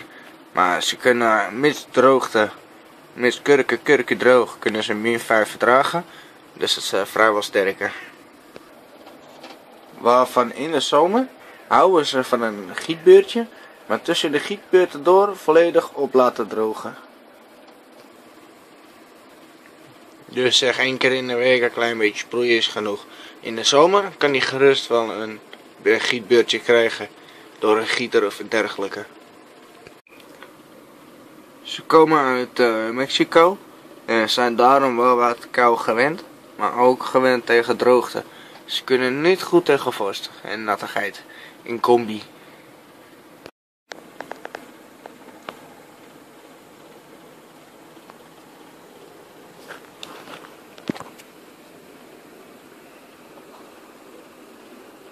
Ja, de Echinophosilocactus multicostatus.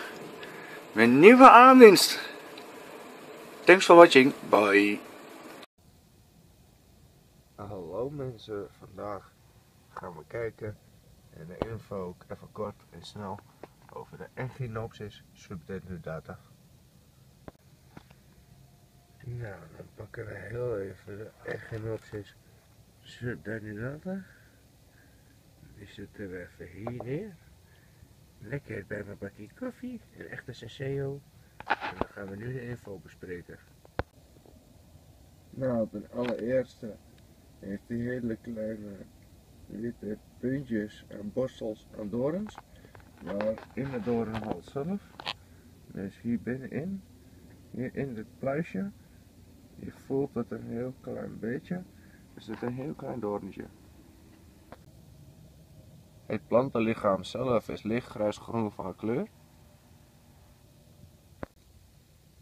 Hij heet natuurlijk subdenudata, Echinopsis subdenudata.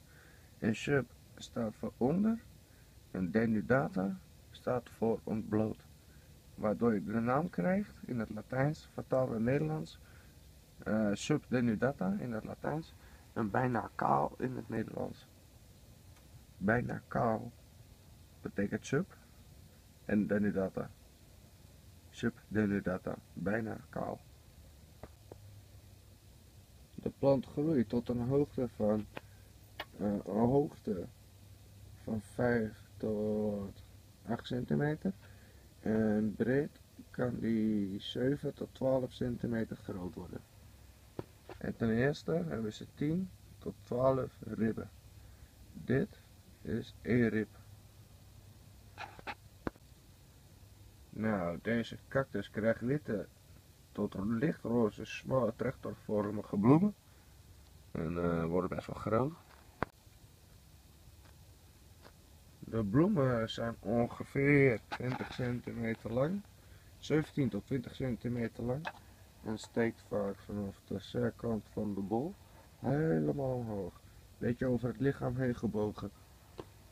En uh, een nadeel is, maar wat het mooiste is van deze cactus, ze is s'nachts bloeiend. Normale planten groeien of bloeien overdag en deze bloeit s'nachts. Gaat s'nachts gaat de knop open.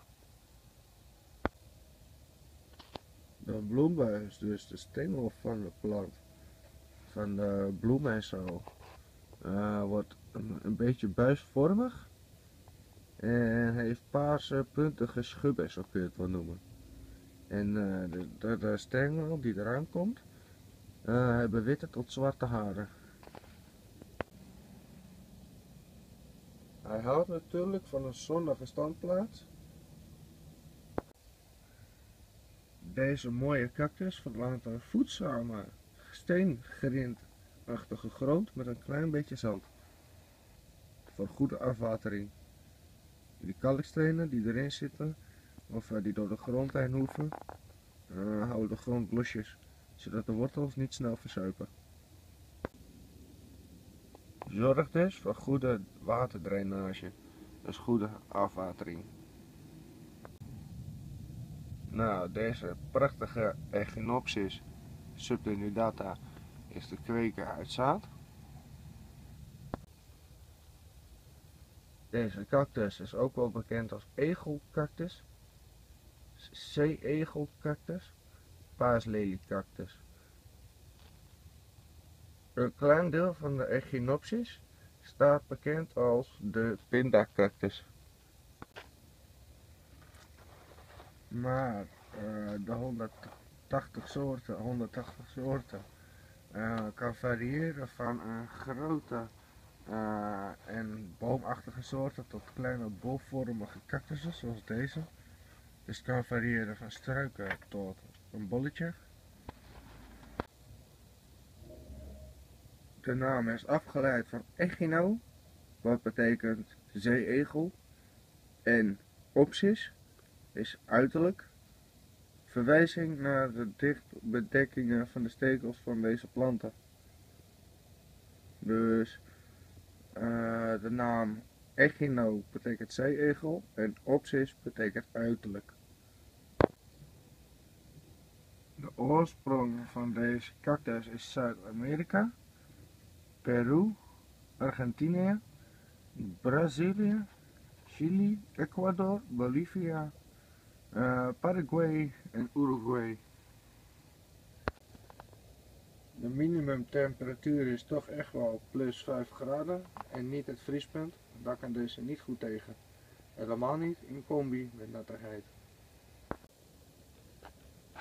Deze cactus houdt ervan om op warme dagen meer geneveld te worden dan gegoten. Want uh, deze kunnen nogal snel rotten. Nou, één keer per jaar een lilie voeden is meer dan voldoende. Meer hoeft er niet gevoed te worden. Groeit ons van oorspronkelijk in bergen, ongeveer uh, eh, 6 meter hoog of zo. En natuurlijk groeit deze op bergwanden, rotswanden en rotsspleten in kieren van nature. Het zijn perfecte planten, perfecte cactussen om in een stenen ronde schalen te zetten, of een plastic natuurlijk, of uiteraard in een cactusgarden. Zoals hier zo zie je ze toch als een setje in een cactusgarden met kalkstenen rondom. Deze soort Echinopsis gaat niet van kraanwater. Daarom gebruik ik enkel om te neuvelen en om te gieten gebruik ik regenwater. En ze houden niet van kraanwater. Kraanwater kunnen sommige soorten nogal dood gaan. Maar uh, ja, daarom geef ik al mijn planten geef ik nevelwater van de regenbui, verse regenbui die er dan is gevallen. En uh, ja, water gieten net zo, ook regenwater.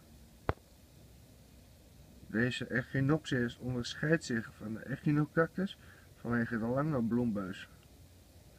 En nevel deze cactus op de dag in de plaats van s avonds, ook vanwege de bloem, maar ook omdat hij het overdag lekkerder vindt. De Echinopsis groeit goed op eigen wortel. En zoals je ziet, het zonnetje komt er al in. Zo, dan pakken we de plant weer op.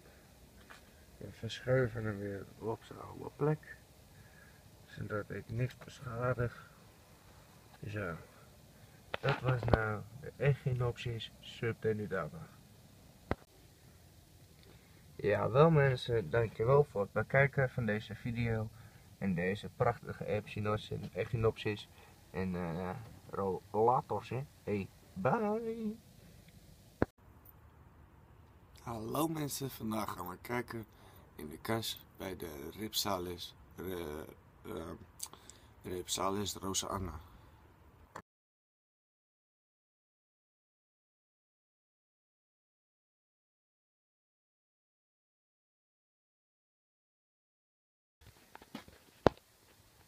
Nou, in plaats van zomercactus wordt het niet zomercactus, niet zulke, maar het wordt als die hangende daarachter. De Ripsalis roseana. Maar natuurlijk is het dit keer niet de beschrijving van dit soort cactussen. Nee, het gaat nu om een heel ander soort cactus. En dat is uh, de Ripsalis roseana. En die staat ook niet hier tussen. Niet hier tussen. Maar die staat daarboven. Boven op de plank. En daar gaan we het nu over hebben. Deze Ripsalis is afkomstig van uh, Costa Rica, uh, Colombia, Westen, Venezuela, Ecuador en ga. Nou, het is in eerste instantie een apart geval van zichzelf. Het is namelijk een cactus en in de vermomming van een hangvetplant.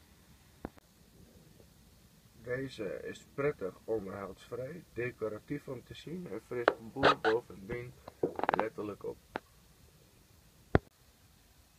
De ripsalis, zoals deze hangcactus, hangt graag op een lichte plek en uh, niet warmer dan 30 graden. Dat is een prima kastplantje en uh, kunnen min 0 verdragen, maar niet kouder dan dat. Maar kan zelfs volle zon verdragen als half schaduw. Deze plant gedijt ook in minder licht, dus uh, ook in de huiskamer op een zo beschutte plekje, ook dan doet hij het goed. Gele bladeren van dit soort betekent of te veel licht of te veel direct zonlicht, dus te snel in de zon geplaatst. Door hem langzaam te laten wennen in de kers kan dat een prima plant wezen. Het is namelijk een hele snelle groeier als je het naar zijn zin hebt. Laat de kluit tussen de gietbeurten opdrogen, geeft daarna weer een redelijke beurt. Mochten de ranken nou te lang worden, dan kunt u deze gerust snoeien. Niet alleen snoeien, maar dit snoeisel, snoeiafval kun je dan ook gebruiken als verse plantmateriaal. De naam is afgeleid van het oud-Grieks uh, voor vlechtwerk uh, en, en, het staat voor de uiterlijk van de ripsalis. Daar dankt deze woonplaats ook haar bijnaam aan, spaghetti cactus. Deze ripsalis is een subtropische tot tropische uh, vetplant die inheems in de regenwouden in Midden-Zuid Midden- en Zuid-Amerika, Afrika en op een paar eilanden in de Indische uh, Oceaan. Daar komen ze voor in op, groeien op boomstammen, omgevallen dode boomstammen. De Repsalis vertoont 60 verschillende soorten. In het wild bloeien deze cactussen met veel kleine witte, gele, oranje of rode bloemetjes die door bestuiving bussen vormen. Uh, in de woonkamer gebeurt dit vrijwel zelden. In de kast kun je goede resultaten bereiken. De oerwoudachtergrond van de Ripsalis maakt het een van de betere luchtzuiverende planten om in huis te hebben. Zo blijkt het onderzoek van NASA. Deze mooie hangcactus is tevens te stekken als te zaaien. Leg het stekmateriaal op een lichte, droge, fosvrije, niet warme plek. En uh, laat deze stukjes één week indrogen. Zet ze daarna in universele potgrond met wat mos en ze gaan super. Deze cactus verlangt een uh, potgrondachtige, mosachtige, verwerkte uh, potgrond Eventueel kan door de grond een klein beetje houtsnippers gemengd worden voor het losse structuur. Het mos en de houtsnippers zorgen voor een houterig, uh, afbreekbaar grondje en uh, waardoor deze heel goed kan groeien en bloeien. Als je maar licht, zonnig desnoods en in een voedzame, losse, mosachtige grond. In de groeitijd, in de groeiperiode, dus als deze volop aan het groeien is, lust hij wel een slokje water. En uh, sproeien kan goed zijn om luizen weg te jagen. Want uh, luizen houden niet van water. En uh, daarom kun je deze mooie plant ook af en toe sproeien. En uiteraard vind je sproeien deze cactus helemaal niet erg. Want dan kunnen ze alleen maar beter gaan. En dan natuurlijk niet te vergeten, deze cactus is giftig voor dieren. Dus zorg dat dieren hier uit de buurt blijven en niet van kunnen eten. Zoals je ziet dat ik de cactus nu wennen in de winter. En uh, ik heb natuurlijk altijd, altijd een kacheltje ready staan. Dus uh, ja, die cactus zal het niet gauw te koud hebben, want ze kunnen min 0 verdragen. En max, ja, plus 30, 35. Dus uh, ze kunnen aardig wat hebben. Deze cactus die vertakt zich via spaghetti-vormig, zoals je al ziet, vormt een groot spaghetti gedeelte. Je ziet deze cactus was best wel duur. En uh, bijna 30 euro een cactus. En uh, dit is mijn kerstcadeautje voor mezelf. Het is nu december. En dit is mijn eigen kerstcadeautje, want ik doe niks met kerst. Dus nou mensen, dit was de Ripsalis Rosana. Ja, wel mensen, dit waren weer de video, of beste video zo gezegd, over cactussen, niet op de stelling, maar dit keer op de plank. Ja, wel mensen, dit was mijn topie cactus, met natuurlijk de uitleg.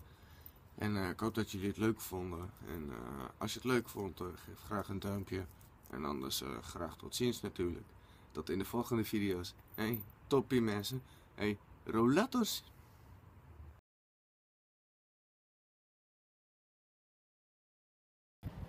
Hallo mensen, vandaag gaan we kijken weer in de cactuskast.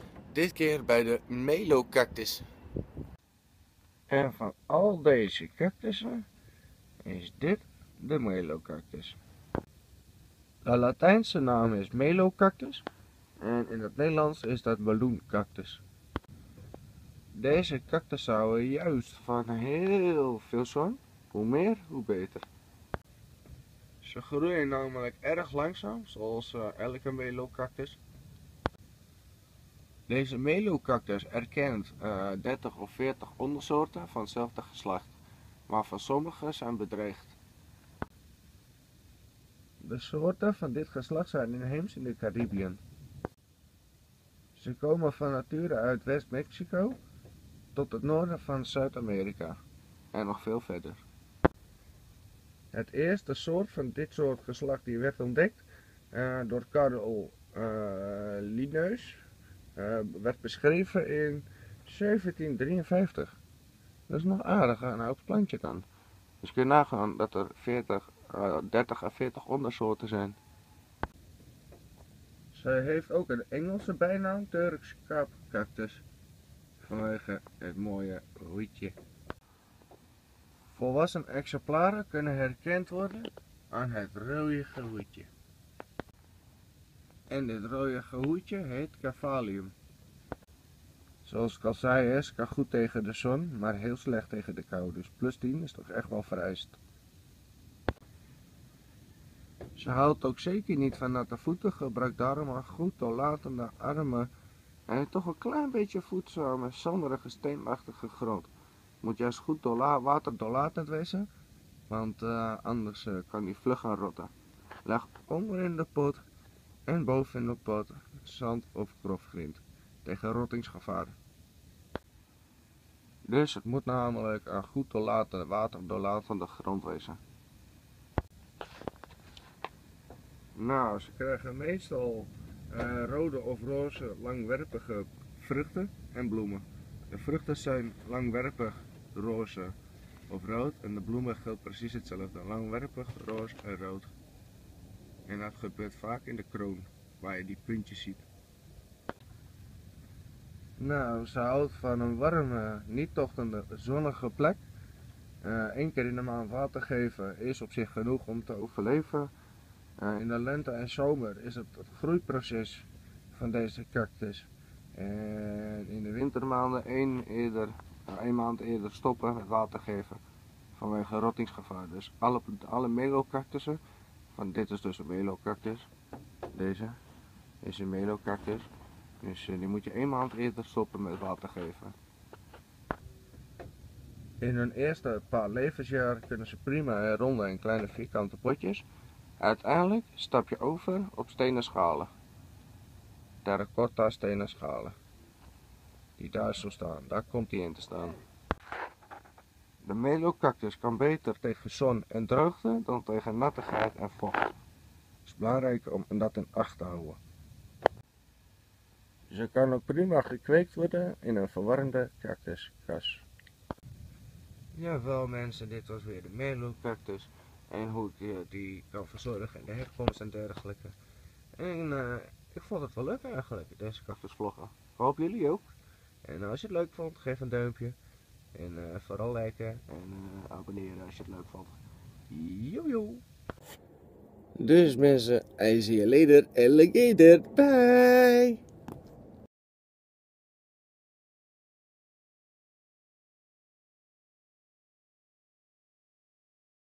Goeiedag dames en heren, ik ben GarrettTube en ik ga jullie vertellen over de verzorging van de Telocactus citispinus. We hebben hier een bovengrondse cactustuintje in een plantenkas. En het gaat om de Telocactus citispinus, deze cactus in prachtige bloei. Toevallig in bloei in volle zomer.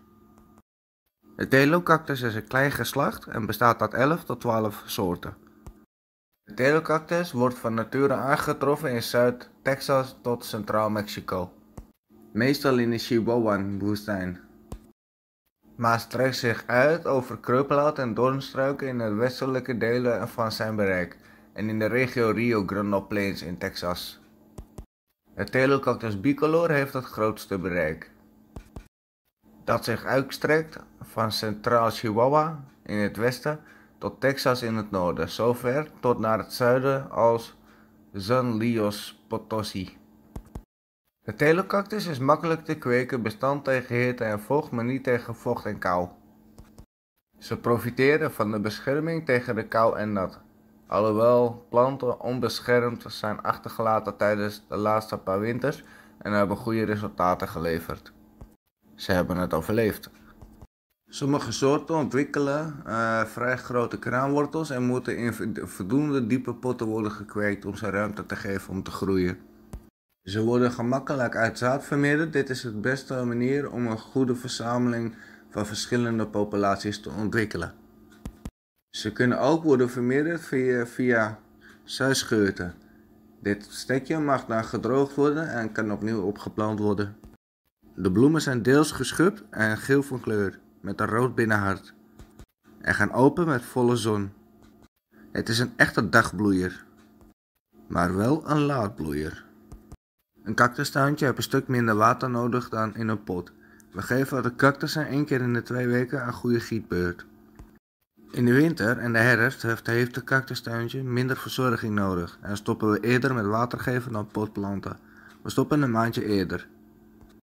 Als grondsamenstelling is het beste lavagruis, brekerzand en universele potgrond.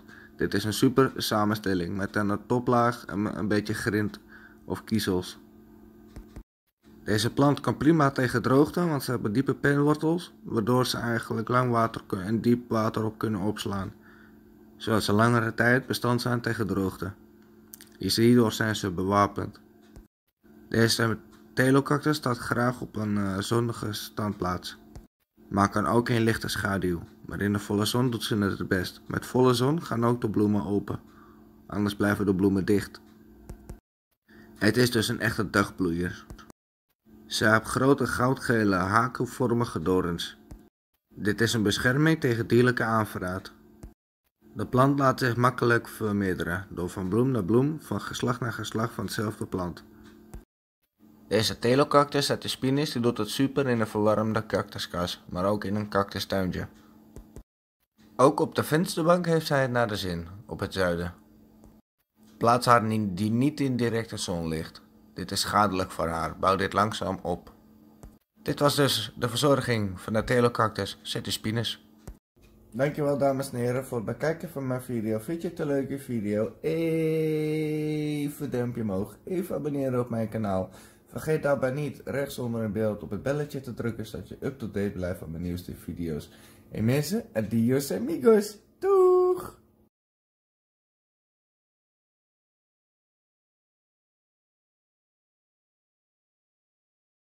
Goeiedag dames en heren, vandaag een nieuwe vlog. Vandaag gaan we je alles vertellen over de cactussen, uh, zoals de parodia en de verzorging ervan. Daarvoor moet ik even de kas in en neem ik je mee naar al mijn andere planten. Eerst laat ik je de hele kas zien. We zien hier een rij vol met planten. We zien daar zo een rij vol met planten. Dus maar oh, het gaat om een specifiek soort. Het ging om de parodia. En uh, die hebben we hier staan. We hebben hier de parodia in bloei. Dus we gaan het hebben over de verzorging en alle info over deze cactus in bloei. Nou, om te beginnen, het gaat om deze cactus. Dit is de parodia. Uh, qua water geven, geef de cactus in de zomerperiode geregeld water. Sowieso één keer per week een goede natte beurt. Want het is goed voor de bloemen, is goed voor de wortels en het is goed voor de groeistimulatie en de bloeistimulatie. Ook nevelen vindt deze plant af en toe wel lekker in de plaats van gieten. Dus als je een keer niet zeker weet wanneer je hebt gegoten, nevel dan een keer. Dat is altijd handig in de zomerperiode. Geef wel water als de zon weg is. Anders verbrandt de plant. Of zet hem op een schaduwplek om te laten wennen zoals wat wij doen. Deze cactus is nog nieuw. Je hebt ook nog niet zo lang.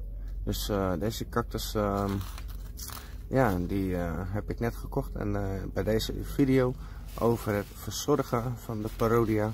Dit is namelijk een parodia soort. Er stond op Mamilaria toen ik hem kocht, maar dat klopt niet. Het is een echte parodia. Ik herken hem als een soort, dat herken je aan het bollichaampje. waardoor dat vrijwel boller is en niet al te hoog. Uh, dan zien we alle knoppen.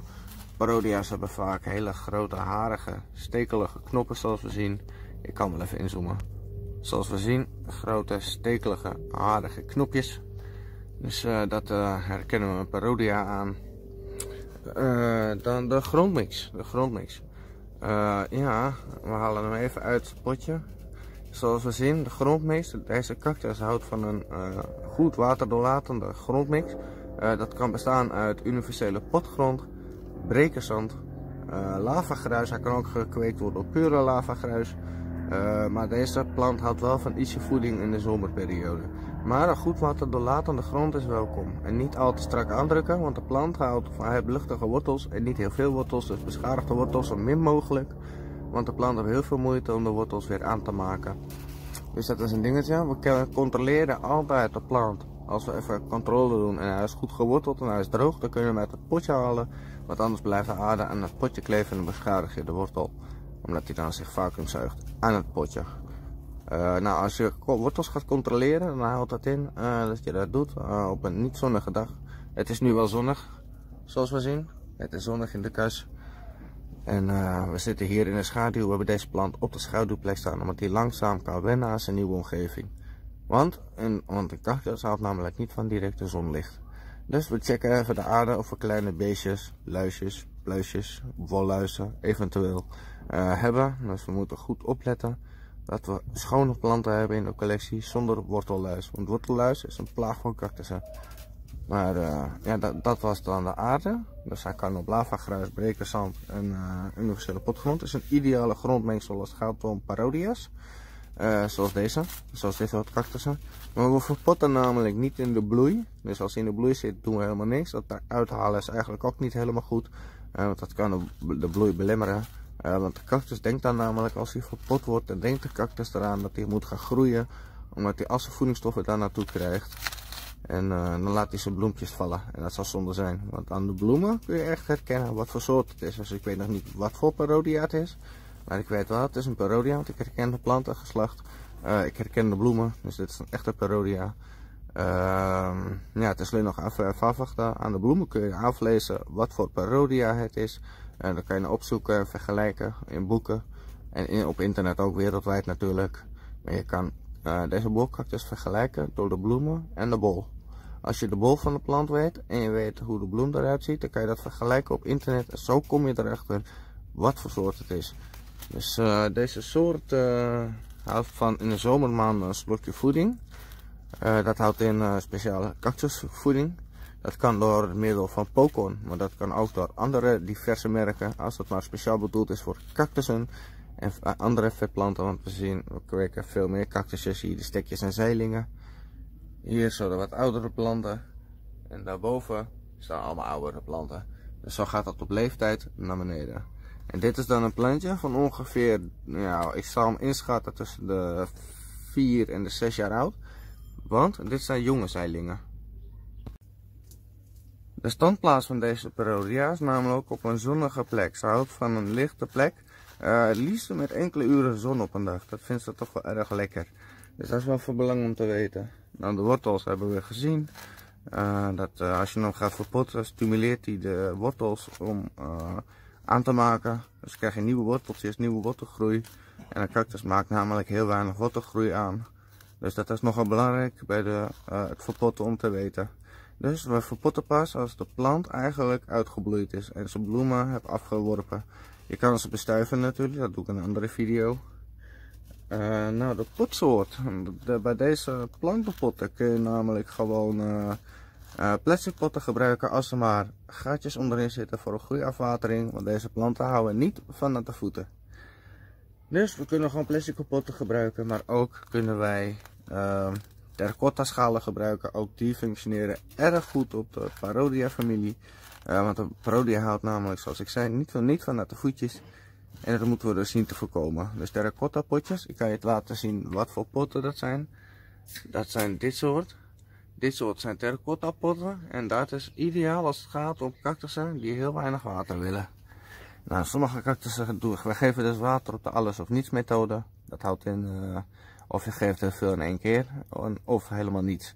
Als je nou niet zeker weet wanneer voor het laatst water gegeven, zorg er dan voor dat je een keertje nevelt, want ook dat vinden de cactussen erg fijn. Uh, de, herkomst, de herkomst van deze cactus is uh, Argentinië en Bolivia, als ik het niet verkeerd heb. Dus hij houdt van een zanderig grondmengsel, omdat ze ook van die kant uh, afkomstig is. bloeiperiode, de bloei van deze cactus kan starten eigenlijk als hij drie jaar oud is. ja, en zo'n bloeiperiode is eigenlijk late lente tot begin zomer. En je ziet hele grote, prachtige knoppen. Dankjewel dames en heren voor het bekijken van mijn video. Vind je het een leuke video? Even duimpje omhoog. Even abonneren op mijn kanaal. Vergeet daarbij niet de rest zonder een beeld op het belletje te drukken. Zodat je up-to-date blijft van mijn nieuwste video's. Adios amigos! Hallo mensen, welkom terug bij GardenTube. We gaan weer een nieuwe vlucht doen. En uh, dit keer uh, weer de cactusjes, zoals je wel ziet. Ik heb alle soorten en maanden. Ook zuibakken, achterin cactussen. En we gaan speciaal bij het specifieke soort kijken, de parodia. En diverse soorten van de parodia geslacht. In dit filmpje laat ik zien hoe ik uh, dat kweek en hoe ik dat allemaal aanpak. Maar natuurlijk zie je het aan die etiketjes. Ik heb genoeg parodia's en allerlei soorten, vormen en maten. Dus uh, diverse geslachten. De parodia is namelijk een geslacht van bloeiende planten in de cactusfamilie. Zoals wel te zien is. Mooie, mooie bloemen. Al deze cactussen, dames en heren, komen van nature voor mm. in de hooglanden van Argentinië, Peru, Bolivia, Brazilië, Colombia en Uruguay. Dus uh, al deze cactussen, zowel deze drie op een rij, dat uh, zijn allemaal afkomstig van deze landen. Dus je wel allemaal parodia's. Allemaal afkomstig van die landen, mhm. zoals ik al zei. Dit geslacht, Parodia, is een hoofdfamilie natuurlijk. En uh, er bestaan wel uh, eh, 50 soorten parodia's. Allemaal verschillende achternaam, maar allemaal parodia's. Dus er uh, zijn een stuk of 50 stuks. En ik heb er slechts enkele. Zoals je wel ziet. Mhm.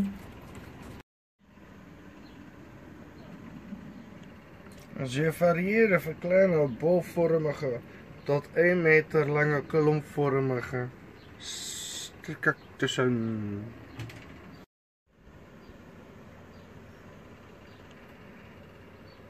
Dit geslacht heeft namelijk allemaal diepe ribben En uh, zijn eigenlijk allemaal stekelig. Eigenlijk alle parodia's.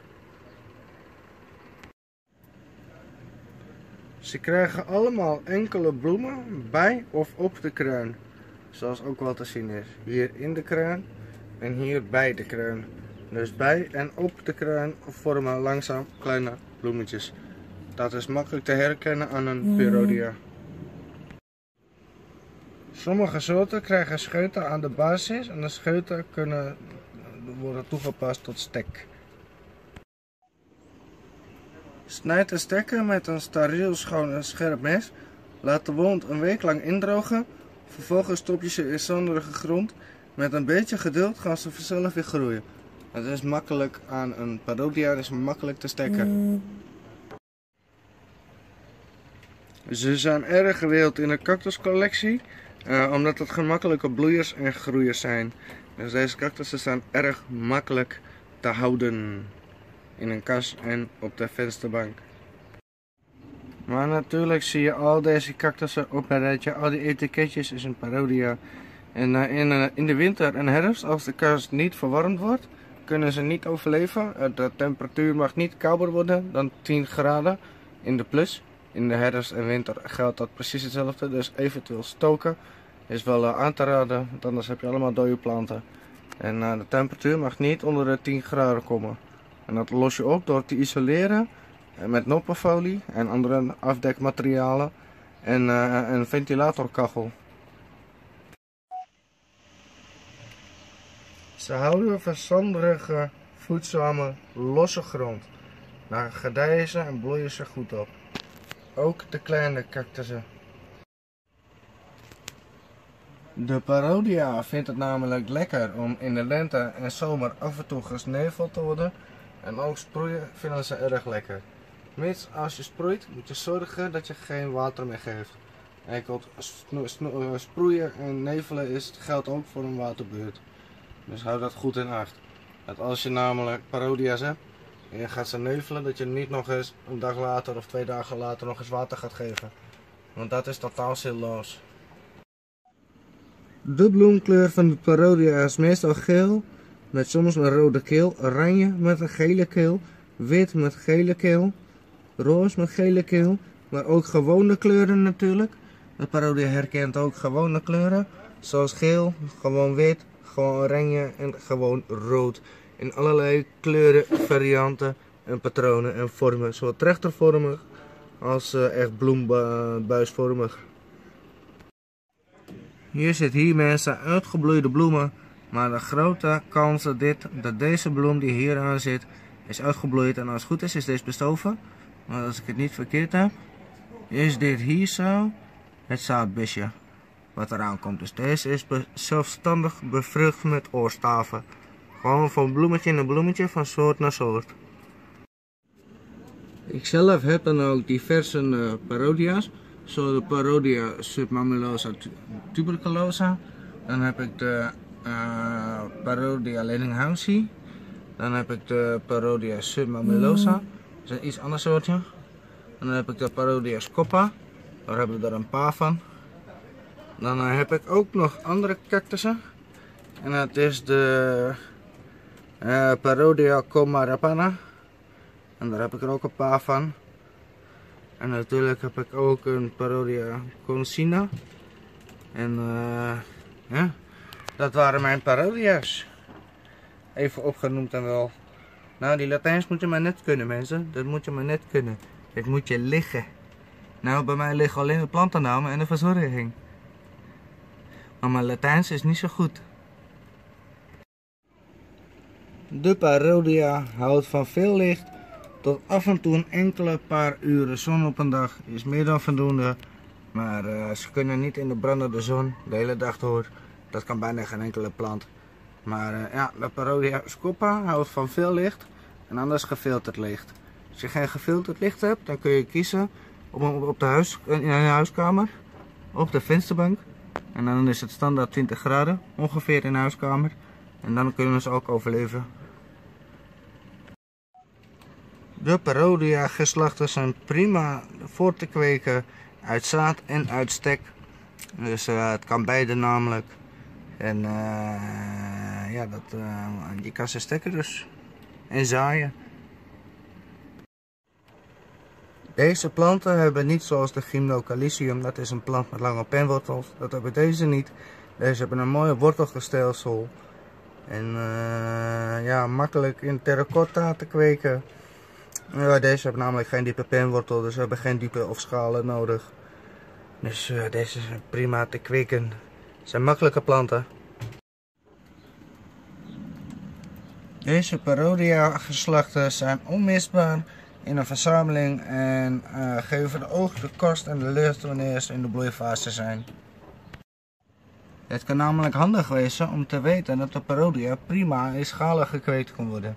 Zowel terracotta schalen als plastic. Kan allebei. Ze groeien in groepen of alleen. En als je het over alleen hebt, heb je het over de parodia scoppa. En uh, als je groepen kweekt, dan is het de uh, stenocactus. Nee, wacht even. Lenninghausie. Het is, moet een parodia Lenninghausie wezen. Er zit verkeerd etiketje bij. Vandaar dat ik het niet goed lees. Maar dit is namelijk een parodia Lenninghausie.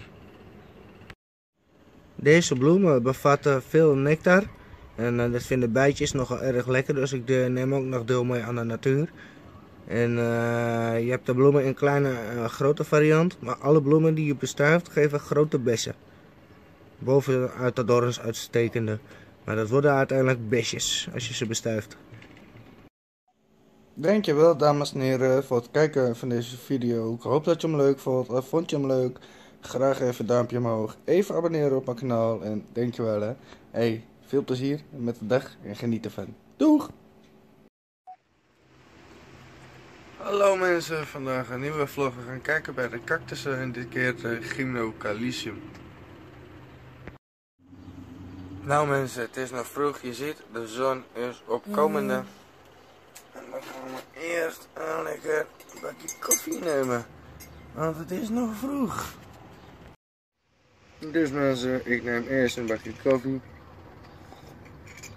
Dat zouden jullie ook moeten doen. En dit is uh, de Gymnocalicium cactus die we gaan laten tonen.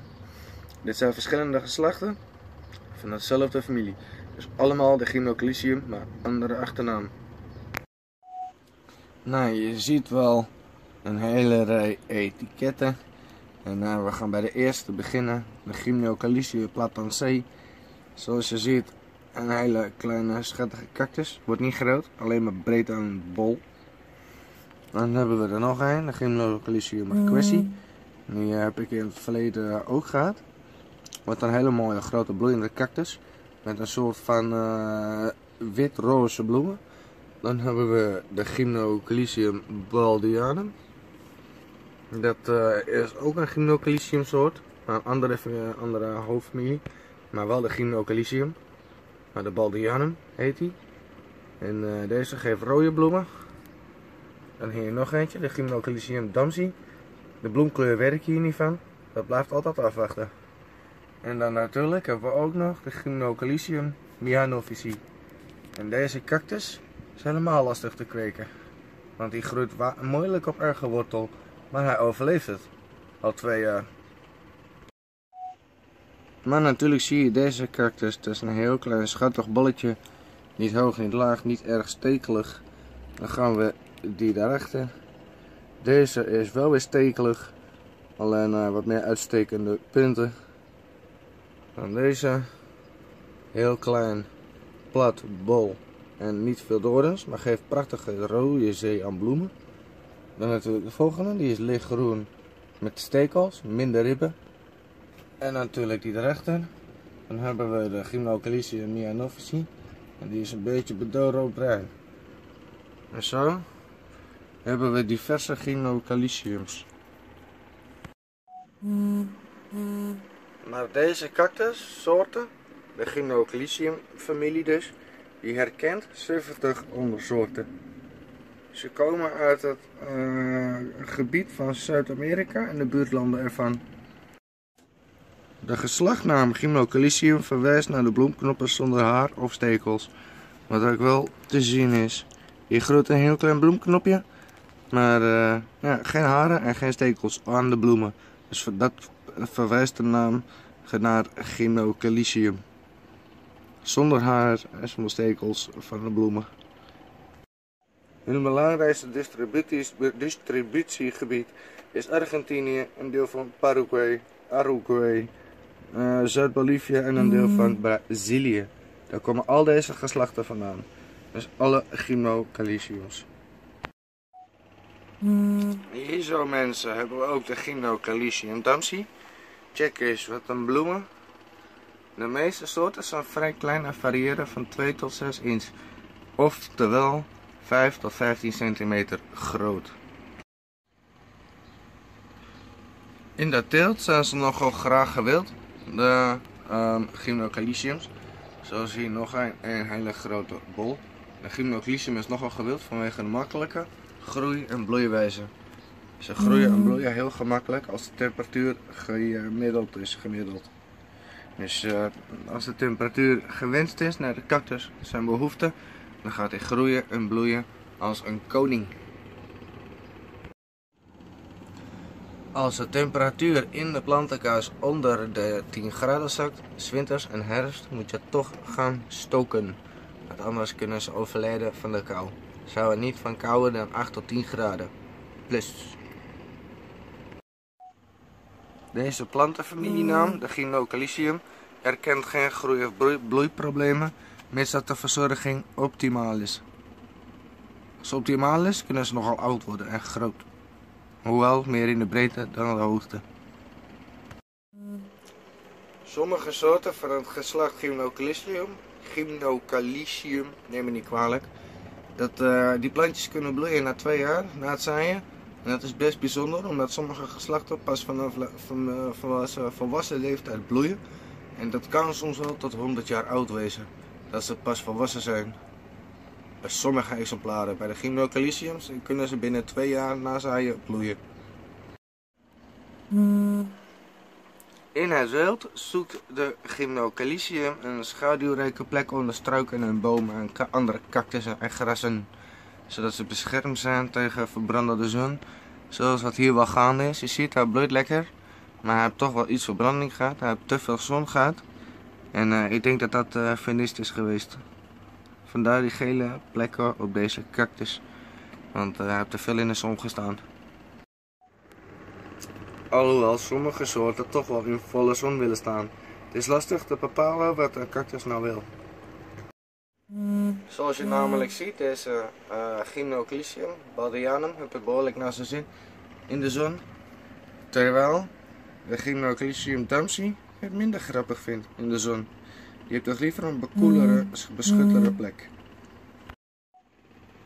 Het kan namelijk handig zijn om de planten iets te beschaduwen maar mocht je dat te veel doen, dan vallen de bloemen weer uit. Dat is weer frequent voor de bloemen.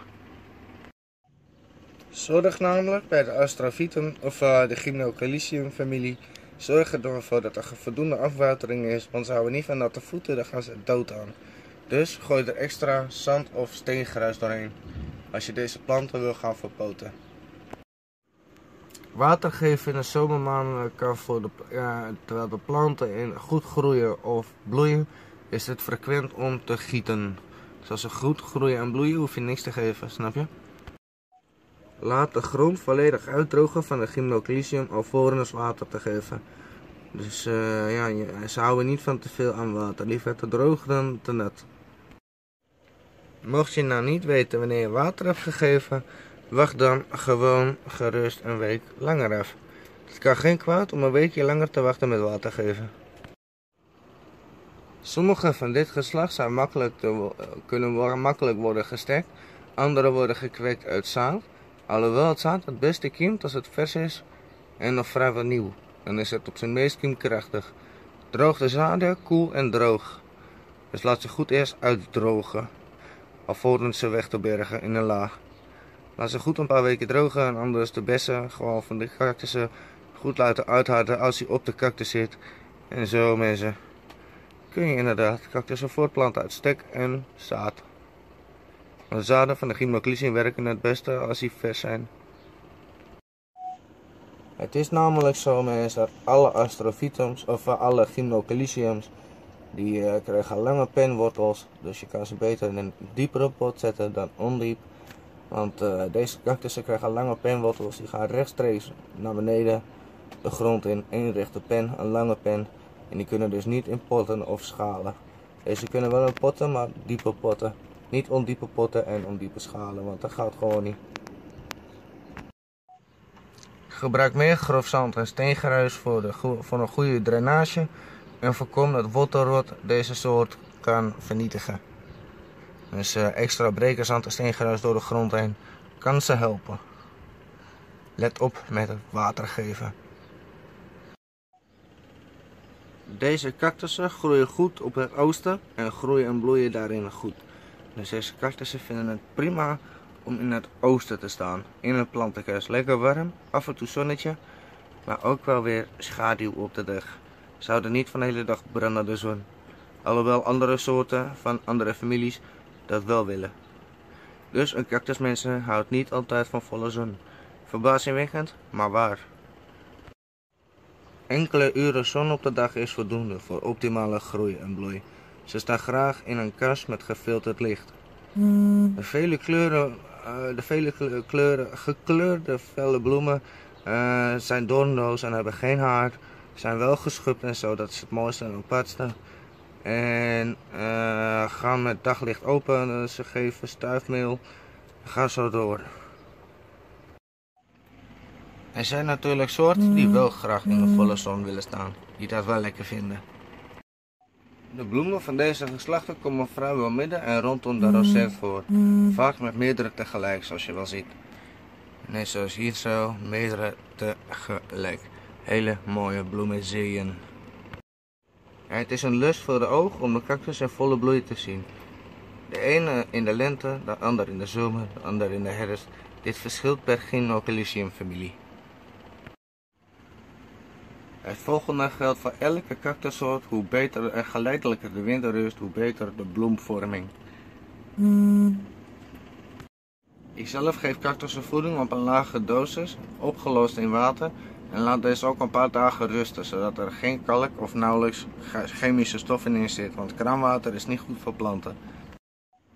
In het kraanwater van Nederland zit tenminste bleek en chloor verwerkt. En dat is totaal slecht voor cactussen, daar kunnen ze zelfs dood aan gaan. Vandaar dat ik het liefst pure regenwater opspaar. Dat doe ik het liefst. Dus laat je de water met voeding een dagje even intrekken of twee, drie dagen. Dan heb je perfect regenwater. Dan maak je van kraanwater maak je voedzame regenwater. Om kraanwater in een maandbeker of zo of een emmer met voeding aan te maken en laat die drie dagen rusten. Dan heb je prima regenwater en voedzaam. Nou mensen, ik heb hier de Gymnocalicium balbianum in dat groot. En hier zo hebben we de Gymnocalicium, of ja, Gymnocalicium baldianum in het klein. Nou, het volgende. Dan hier zo hebben we de Gymnocalicium tamsi in het groot. En natuurlijk hebben we de Gymnocalicium tamsi in het klein. Dan hebben we hier zo de Gymnocalicium platancé van 2018. Dan hier zo, even goed zuiver in beeld, de Gymnocalicium marquesi. En zo gaan we de hele stelling door. De Baldianum hebben we gehad. De Damsi hebben we gehad. Maar dan hebben we ook nog eens een Gymnocalicium mihanovici. Zoals je wel op het etiketje ziet. Dat is een hele bruinachtige cactus. Bruinrood, lichtgroen, donkergroen, mat en een beetje klein en schattig plat. Dus we hebben van alle soorten gymnocaliciums, van, van vele soorten. Maar natuurlijk vinden veel gymnocaliciums vinden het lekker om af en toe even geneveld te worden. Sproeien en nevelen doet planten en cactussen goed. Dit houdt dus in dat je inderdaad ook een nevelbeurt kan gebruiken ter waterbehoefte. Hoeft niet speciaal te gieten. Dus kan best een week uitstellen met gieten als je één keer gaat nevelen. En natuurlijk mensen, dat nevelen gebeurt wanneer de zon helemaal weg is. Leg namelijk op de aarde een laag grof zand of fijn grind. uh, om zoveel mogelijk uh, water bij de wortelhals te voorkomen, waardoor je voorkomt dat er wortelrot kan komen. Of wortelhals, halswortelrot, hoe je het noemen. Dus in ieder geval rotting bij de hals. Dat voorkom je door zand er rondomheen te leggen. Gewoon de gele pot vullen. Net zoals hier staat de Lophofora williamsi. Dat is een andere familie. Even een voorbeeldje. Maar zo zie je dus dat er zand rondomheen kan liggen. En dat is tegen rottingen. Ze houden niet van kraanwater. Sommigen gaan er zelfs dood aan. Daarom altijd vers regenwater gebruiken. Breng kraanwater aan de kook. Laat het een paar dagen rusten. Zo, verwi zo verwijderen uh, de slechte delen uit het water en kun je vervolgens toepassen tot je gewassen. De bloemen van deze cactus gaan overdag open. En uh, de kleur kan namelijk variëren van uh, ro wit roze met uh, roze met een gele keel enzovoort. Dus ze kunnen allerlei kleuren waarnemen. Rood, roze, wit, geel en zelfs geel met een roze hart. En rood met een roze hart. Ga zomaar door. Er zijn allerlei varia variëteiten van geuren, bloemen en kleuren van de Gymnoclisium. Dus de bloemen zijn vaak wit, roze, rood, paars of geel of met een andere binnenhart kleur. Het zijn planten die overdag bloeien en gaan overdag open met volle zonlicht. De kast staat op het oosten en krijgt de volle zon vanaf uh, opkomst tot 3 uur in de middag ongeveer. Met de zo midzomer. Jawel mensen, dit waren weer de foto's en video's van uh, gymnocaliciums en de verzorging ervan. Jawel mensen, dit was weer de verzorging van de gymnocalicium. En dit is hoe ik het doe, uiterlijk, verzorging, kenmerken. En uh, mensen, adios amigos.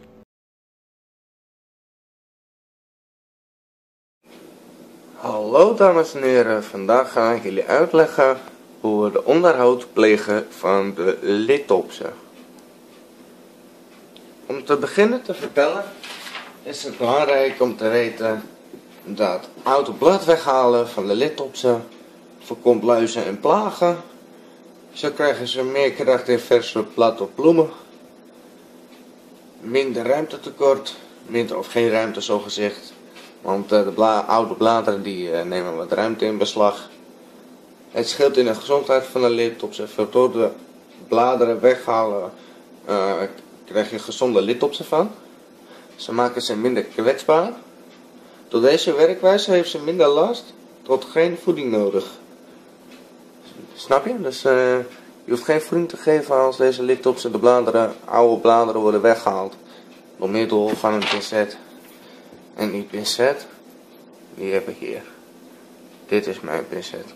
Je ziet dat binnen in het bekje, zie je ook rippeltjes. Dat moet je goed kunnen zien. Dan kan je dus, maar je mooi grip mee, dan kan je mooi tussen die littopjes. Nou, bij deze kan ik vast beginnen met de littopjes. Je zorgt natuurlijk dat dit is verse blad en dit vertorde, dat donkerbruine gerimpelde, is eigenlijk een oude blad. En dan pak je heel voorzichtig, pak je het blaadje, houdt het lipje op je vast en je trekt wel heel voorzichtig dat er vanaf. En zo doe je de hele plant. Soms hoef je die lidtops niet eens vast te houden. Dat is wel belangrijk om het allemaal weg te halen. Want je ziet, de lidtopsen worden er wel mooie schoontjes van. En zo halen we ze stukje bij beetje halen we ze weg. Het is namelijk heel belangrijk dat je elke lidtops heel beetje precies meeneemt. En je hoeft ze niet helemaal aan te randen. Maar je kan het gewoon heel voorzichtig zo met een pincetje druk je het bolletje iets opzij. Je brengt je dingetje ertussen. En je wipt hem zo los. Als het blad goed uitgedroogd is, dan kan je hem heel makkelijk plukken. Maar je ziet, sommige is nog wat lastig. En sommige zijn wat lastig te pakken. Dat kan gebeuren. Dat maakt ook helemaal niks uit. Maar zo kan het ook. Het overige blad is alleen maar een extraatje.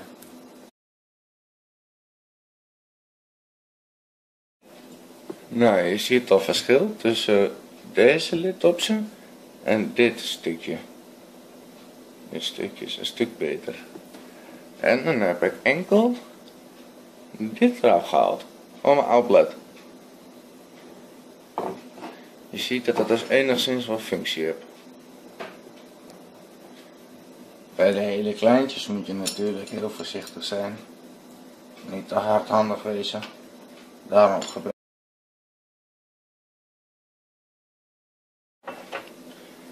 Maar uh, natuurlijk uh, zijn de grotere wat makkelijker te doen dan de hele kleintjes. Maar toch, als je heel voorzichtig bent, lukken ze allemaal. En toch goed individueel bekijken. En toch ook hier zag ik weer een blad. Zelfs ik zie nog wat over het hoofd. Nou, dat vind ik knap. Kom op. Zo. Nou. Dan check ik even weggooien. Nou, dan deze. Die lijkt mij het lastigste. En dan doe ik mijn best op.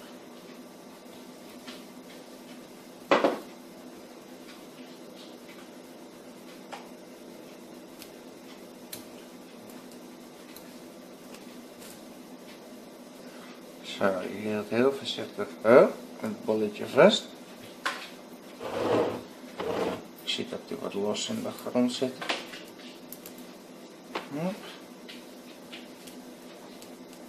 Oké, heel voorzichtig er vandaan. Zo. En het bolletje graaf ik tevens in. Had je idee. Zo, dat doen we met dit op zit een beetje los zitten. Natuurlijk uh, ziet hier wat van dichtbij. Je ziet dat dit schooltje is schoon. En die twee moeten nog. Maar je ziet dat niet alles hoeft. Dus dat scheelt weer. En gewoon heel voorzichtig zo. Stukje bij beetje.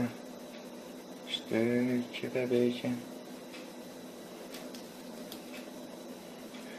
Want je ziet, je hoeft helemaal niet veel moeite te doen, want het laat zo los.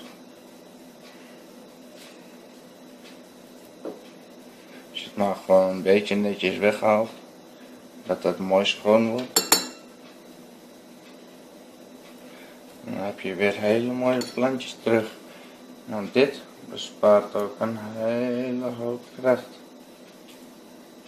Idee. Het is uh, voor mij lang geleden dat ik deze lidtopjes heb schoon moeten maken. Deze heb ik pas in een schaal gezet. Er staat ook een filmpje van op mijn kanaal. Maar toch is het lastig om het helemaal perfect te doen. Want ze zijn zo klein en pril.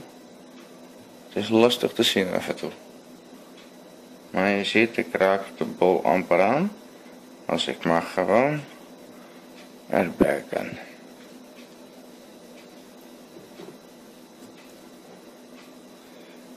Nou, zo maken we de hele schaal schoon van appelen. Want oud blad zorgt ook dat het voeding wegtrekt uit de grond. En als het voeding wegtrekt uit de grond, moet ik extra gaan geven. En dat is nou eigenlijk iets waar ik niet op sta te wachten. Dat ik weer voeding moet geven aan lidtopsen. Want het probleem bij lidtopsen is, als je ze voedt, je voedt ze heel snel te veel. Dus eigenlijk één keer geven kan al een dood worden. Ik heb ook geleerd in principe dat lidtopsen één keer gesproeid hoeven te worden maar niet gegoten. Want van gieten kunnen ze doodgaan. En gebruik altijd, altijd regenwater. Dat is dan alle tijden altijd het beste. Je ziet ook hele kleintjes. Hier zo zit daarin. Heel kleintjes. Je ziet toch een heel klein jasje eromheen. Dan hou je hem vast, heel zachtjes. En dan Klikjes zo. het blad er vandaan. Zelfs bij de ini minis. Nou, want je komt er meerdere tegen. Meerdere blad. Zo. Zo. Zo zie je dat ik allemaal het jasje aftrek. En omdat ik het jasje aftrek, is het makkelijker voor mij en voor de plant om weer terug te komen. En daarom vind ik lid op, op zichzelf eigenlijk heel erg leuk. Want uh, je bijna nooit geen last van die dingen. Je hoeft ze bijna geen water te geven. Het scheelt allemaal heel veel. Het zijn geen waterbehoevende planten. Dat is sowieso. En nu zie je dat dit groepje schoon is. En dat groepje is schoon. Nou deze, die moet nog. Zo. Je ziet ook wel dat hier nog oud blad zit. Ik zou trouwens zeggen, als je de lidtops aan het schoonmaken bent, wacht niet al te lang, want ze houden maar al te graag van de buitenlucht. Ze houden er niet van om binnen te zitten.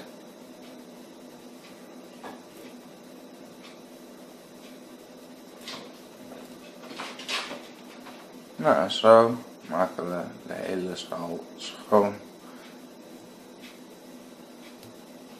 Van oud blad. Uiteindelijk zie je zo dan ook het eindresultaat, hoeveel blad ik heb weggehaald. Dat is best wel uh, veel vind ik zelf. Maar dan zijn ze weer helemaal fresh. En zo hoor lid op ze namelijk te behandelen. Eén keer in de zoveel tijd als de bladeren allemaal verdord zijn. En ze hebben een erg achter de rug. Ze zijn mooi aan de groei. Dan kun je mooi dat oude blad weghalen.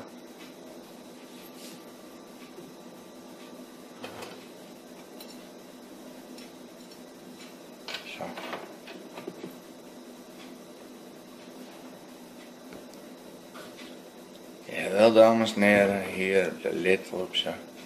Ze zijn helemaal schoon. Kijk hoe mooi schoon ze zijn. Geen dode bladeren meer. Een heel verschil met net. En ze staan in een terracotta schaal. Dat is wel duidelijk. Maar ze zijn klaar.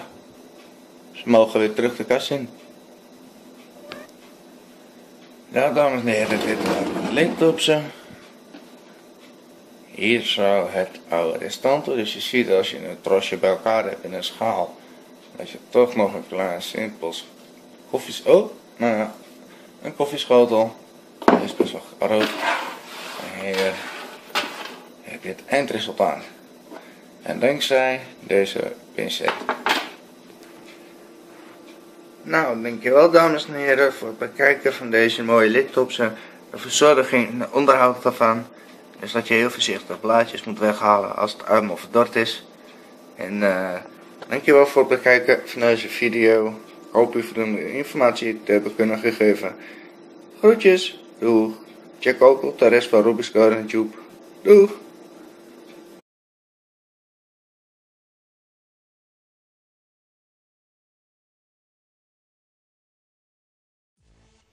Hallo mensen, vandaag een nieuwe vlog. We gaan kijken bij de cactussen in de cactuskast. En we gaan wat bespreken over de Euphorbia en het geslacht Euphorbia obesa. Nou, hier hebben we de kast en dan gaan we kijken bij één specifiek soort, Euphorbia obesa. Het is eigenlijk geen cactus, maar is ook geen vetplant. Het is een heel eigenaardig soortje. Dan hebben we hier alle cactussen. En dan zien we hier Euphorbia nummer 1. Zo'n oud exemplaar kan ongeveer 30, 35 jaar oud wezen. Als ik het niet verkeerd heb. Dan zie je, dan zie je dat hij helemaal uh, vergroeid is. Hier nog een exemplaar. Die is bol en knosvormig. Die haalt, die haalt iets over de pot heen. Kan gebeuren als ze oud worden. Dan gaan ze iets hangen. Ze worden vaak gebruikt om een western sfeertje te creëren. Ze worden vaak aangeboden als cowboycactussen, maar euphorbia's zijn geen cactussen en komen ook niet uit Amerika. De Euphorbia zijn wel te vinden in Afrika. Het bestaan van cactusachtige euforbia's is een merkwaardig staaltje van convergente evolutie. Waarbij niet, niet verwante organismen dezelfde evolutie doormaken. Denk aan vissen en walvissen. In de Amerikaanse woestijnen verloren cactussen als aanpassing aan de droogte hun bladeren en werden ze bol- en knotsvormig. In Afrika gebeurde dat met uh, sommige euforbia's precies hetzelfde. Euphorbia betekent wolfsmelk. Dit komt omdat de plant giftige sappen, witte sappen uitlaat laat lekken uh, naar beschadiging van de plant. Deze sappen die zorgen ervoor dat dier en mens van de plant wegblijven. Afweersysteem. De Euphorbia-familie bestaat uit meer dan 2000 soorten. Zowel kegel, bol, struik als boomvormig, waarvan 800 soorten echte vetplanten zijn. De euphorbia's hoeven niet per se winterrust te hebben, wel is het goed voor de gezondheid om ze af en toe dus van uh, oktober tot maart er weer een winterrustperiode te geven. Is toch wel goed voor de gezondheid. Daardoor krijgen mooie, gezonde, sterke planten. Ze houden van een goed waterdoorlatende grondmengsel met een verhouding van 50% universele potgrond, 50% brekerzand en 25% fijne grind. Dat is de beste verhouding voor deze planten. Dat is een zanderig substraat.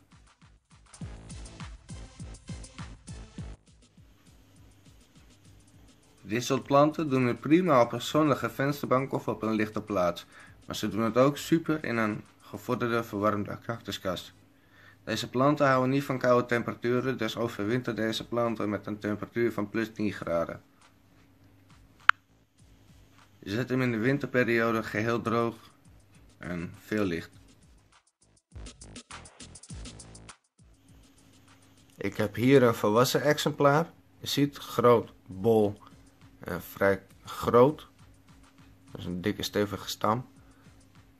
En niet alleen, we hebben hier verschillende euphorbia's. We hebben ook de zeilingen van de Euphorbia obesa. Dat zijn deze plantjes. Kleine, kleine zeilingen. Zo begint de Euphorbia obesa.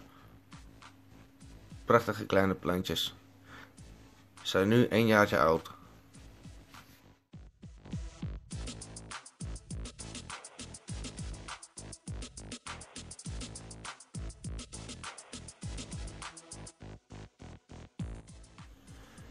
Nou, we zien hier een stekje en die kan toegediend worden als uh, nieuw plantmateriaal. Je ziet de bovenkant van deze planten zijn het meest groene. Uh, ze hebben geen stekels of uh, giftige werking. Ze hebben wel een sappen. Dus als de plant wordt aangevreten, dan stoot hij een witte sap uit. Dat wordt genoemd een harsproductie, zoals hier zo. Harsproductie. Dit kan namelijk gebeurd zijn als er stekkers zijn genomen. Als de plant beschadigd wordt, dan stoot hij die witte sappen uit. Dat is zijn verdediging tegen aanvraat. Als deze sappen op je huid komen, dan gaat dat irriteren en kan ontsteken. Je ziet ook, de plant houdt van droge substraat en kan heel slecht tegen veel water.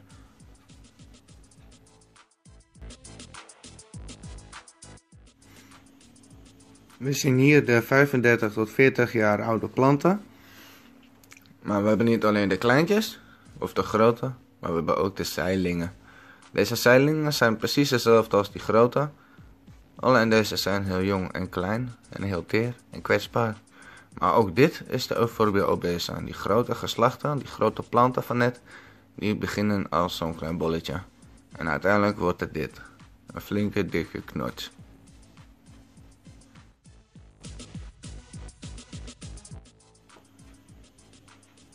Deze plant is gekocht bij een cactusbeurs van uh, Succulenta natuurlijk, van de Succulenta vereniging.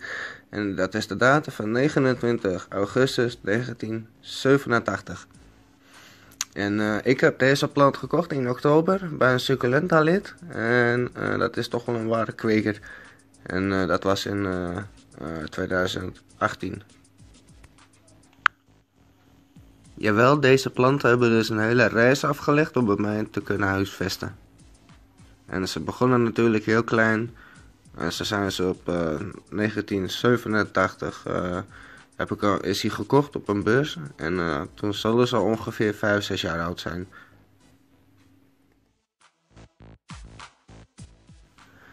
Nou, zoals ik zei, heeft de Euphorbia obesa niet echt scherpe puntige dorens of andere afweersysteem. Deze planten die, uh, geven een sappen weer. En dit zijn die opgedroogde sappen.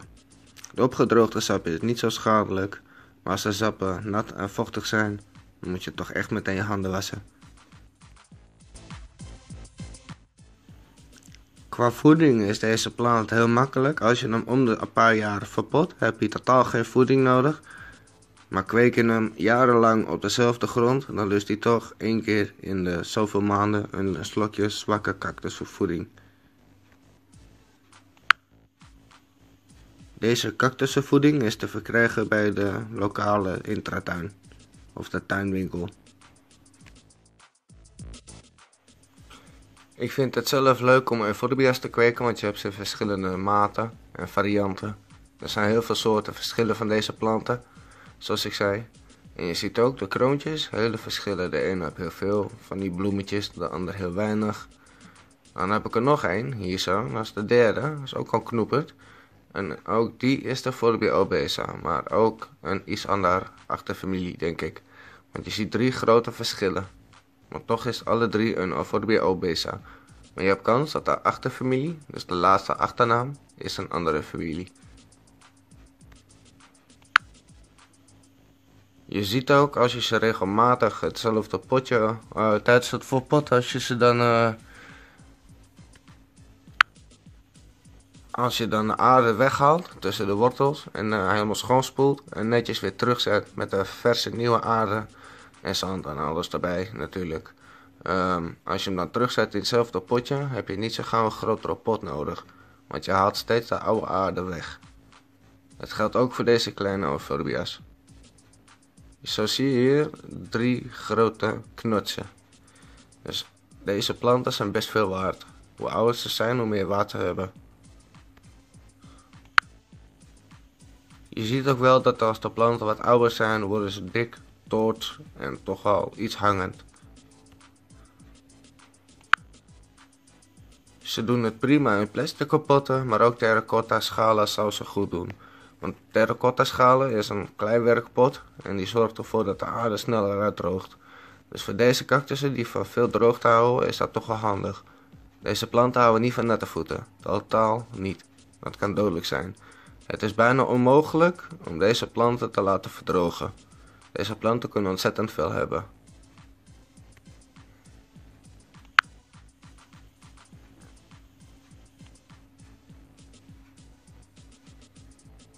Nou, hier één exemplaar. Je ziet, verpot, het laatste in 2014. En zo zie je dat ze best wel kunnen hangen. En dat ze best wel knosvormig zijn, dat ze een aardig gewicht met zich mee kunnen dragen. Zeg dat deze cactus ongeveer 5 kilo weegt, met pot en al. Deze planten houden van absoluut veel, maar ook veel licht. Zo liefst volle zon. Het duurt namelijk een aardig tijdje voordat zo'n cactus net zo groot wordt als deze grote. Deze planten, zoals ik al zei, kunnen ongeveer 35, 40 jaar oud zijn. Ongeveer, het is een schatting. Precies weet je het nooit. Als de planten te zonnig staan, worden ze een beetje roodkleurig. Dus dat houdt in dat ze te heet staan. Worden ze te heet in de plantenkast, dan houdt dat in dat ze terug de winterrust in gaan. In de zomer. Bij deze zie je een donkerbruine onderstam. Dat is de ouderdom van de plant. Ik zelf noem dat kurkwoekering. Ik weet niet of dat ook letterlijk dat is, maar dat is mij geleerd dat dat kurkwoekering is. Als jullie weten hoe dat verder heet en hoe je dat uh, kan voorkomen of iets, of info ervan, stuur het me in, onder in de beschrijving. Ben ik erg benieuwd naar. Zoals jullie het weten, let me know.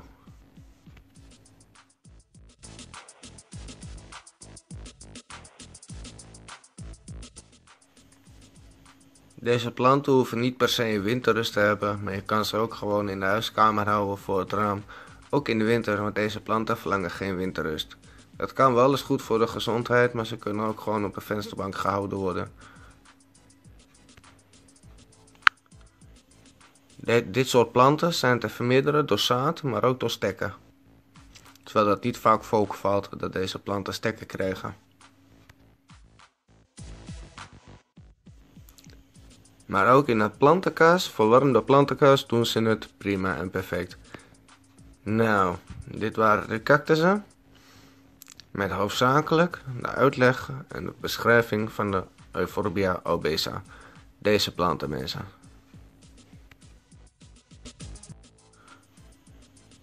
Ja, de Euphorbia obesa in een cactuskas. Vol met allerlei andere cactussen en vetplanten. Je ziet tussen al cactussen vallen ze niet 1, 2, 3 op. Dat heb je met cacteen. Jawel mensen, dit was alles omtrent de Euphorbia obesa. Vond je het een leuke video? Even duimpje omhoog. Even abonneren op mijn kanaal en adios amigos. Hey, doeg! Goeiedag dames en heren, vandaag een nieuwe vlog. We gaan alles bespreken rondom de Selenische grandifloris, oftewel de koningin van de nacht. Het is een cactus en het is een heel speciaaltje van zich soort. We gaan dus alles bespreken over de verzorging, de uiterlijk, de herkomst, watergif, potten, uh, standplaats, uh, lichte intensiteit, temperatuur, vochtigheid. Dat komt allemaal hierin voor en uh, ik ga je allemaal laten zien hoe je dat werk kan laten gaan. Hier zijn we vast bamboestok aan het monteren voor de klimmogelijkheden van de plant. Deze plant is een klimmer en een kruiper en die klimt graag over stokken heen en houterige delen waar die voeding ook uithaalt.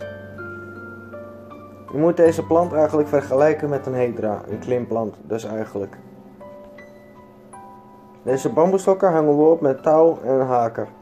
De haken zitten in de frame van de kas en de touwtjes en de bamboestokken worden aan elkaar gebonden. Nou, zoals men ziet hebben we hier de kast met cactussen, alles staat of hangt. Uh, nu hebben we hier in het dak hebben we gewoon open, wel met haken. Maar hier zo hebben we twee takken of bamboestokken geplaatst aan een haakje. Is ook wat te zien. En daar komt uh, uh, Selenische grandiflorus op te hangen. Of te klimmen uiteindelijk. Dus de koningin van de nacht komt op die plek. Nou, we hebben het pakketje binnen. Die is hier zo. Hier mensen zit namelijk dat kleine stekje in. In dit kleine doosje. Hier zit de Selenische race grandiflorus in. Nu hebben we ook een schaartje. En dan even kijken wat dat nodig is. Ja, hier. Dat is één. En dat is twee. Zo, dat zijn twee plakkantjes. Dan klappen we hem open. En dan zien we dat hier de Selenische race grandiflorus uh, Queen of the Night. Dus dit mensen, hier moet het stekje in zitten. Jawel, het stekje. Oh, en heel leuk. Ik heb er ook een etiketje bij. Dat vind ik wel heel schattig. Ja, dankjewel mensen. Dus uh, hier zit het stekje in. Dan gaan we verder uitpakken. Dan hebben we hier papierwerk. Hier staat alles op uh, hoe je hem kan verzorgen. Van 1 tot en met 7.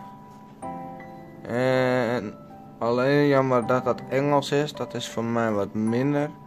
Maar uh, daar kom ik wel uit. Denk ik. Ja, daar moet ik wel mee uitkomen. Ik denk wel dat me dat gaat lukken. Dus we hebben ook een kweekbeschrijving erbij namelijk. Gewoon een klein papiertje. Dan hier zo. hebben we de bon natuurlijk. En hier zo zien wij dat het bij Sunny Plants bij vandaan komt. En het kostte me in totaal, Queen of the Night kost 3,95 euro. Met 4,95 euro verzendkosten. Dus in totaal 8,90 euro. Nou, 8,90 euro voor zo'n prachtig stekje is me toch wel waard. Want deze planten krijgen enorme grote bloemen. Dus we gaan deze even uitpakken. Als dat lukt. Als dat lukt. Het is natuurlijk belangrijk dat je de stekker, als je die uh, hebt of je uh, wil stekker maken, dan houdt het in dat je ze wel licht moet brengen. Je moet ze licht wegbergen. Dus zorg ervoor dat de stekjes op een lichte, luchtige plaats liggen. En waarom? Dan uh, zorg je in ieder geval ervoor uh, Dat hij niet indroogt of een andere aparte kleur krijgt. Nou, oké. Die is los. Deze voorzichtig los. Hoppatee. Eén etiketje gewonnen. Dat is nog gratis. Dat stond niet in de beschrijving. Dat vind ik wel erg leuk. Nou, dit stukje moet er ook even vanaf. Jongen, jongen, jongen, wat een verpakking. Die tape is wel een goede tape hoor, mensen. Dat denk ik althans. Zo. Oké. Die kant. Zo, dan hebben we één open gevouwen papiertje. Hij zit wel mooi verpakt, mensen. Dat geef ik eerlijk toe. Voor die prijs, uh, een geweldige verpakking. Al zeg ik het zelf.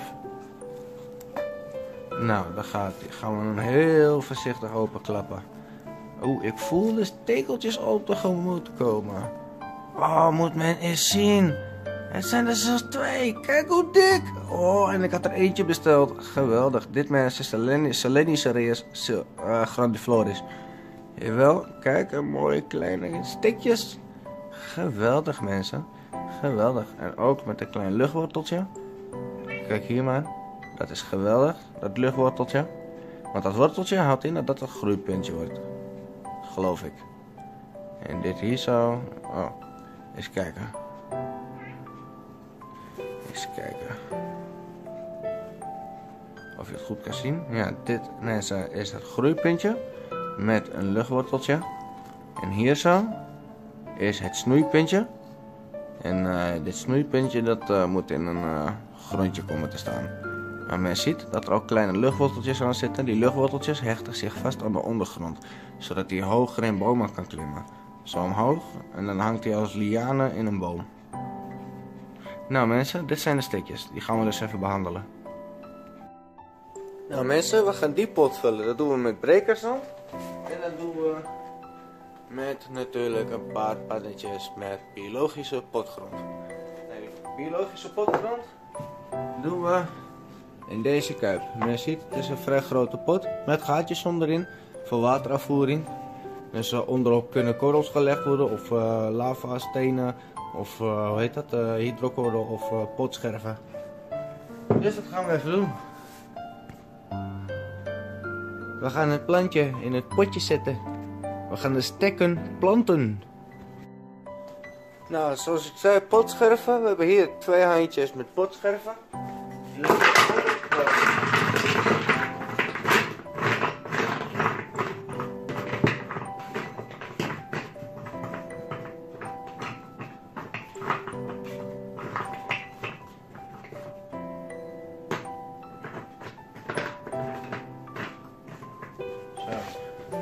Hebben die op de bodem gelegd, netjes als een matje. En nu komt de grondmengsel. Dus deze en deze gaan we samen mengen. Dat doen we in een emmertje. Nou, om dat te doen, moet deze even van tafel. Zetten we hier het emmertje. Hier gaan we de grond in mixen, mensen. Hier doen we eerst één emmertje van deze. Doe dat voorzichtig en niet te snel.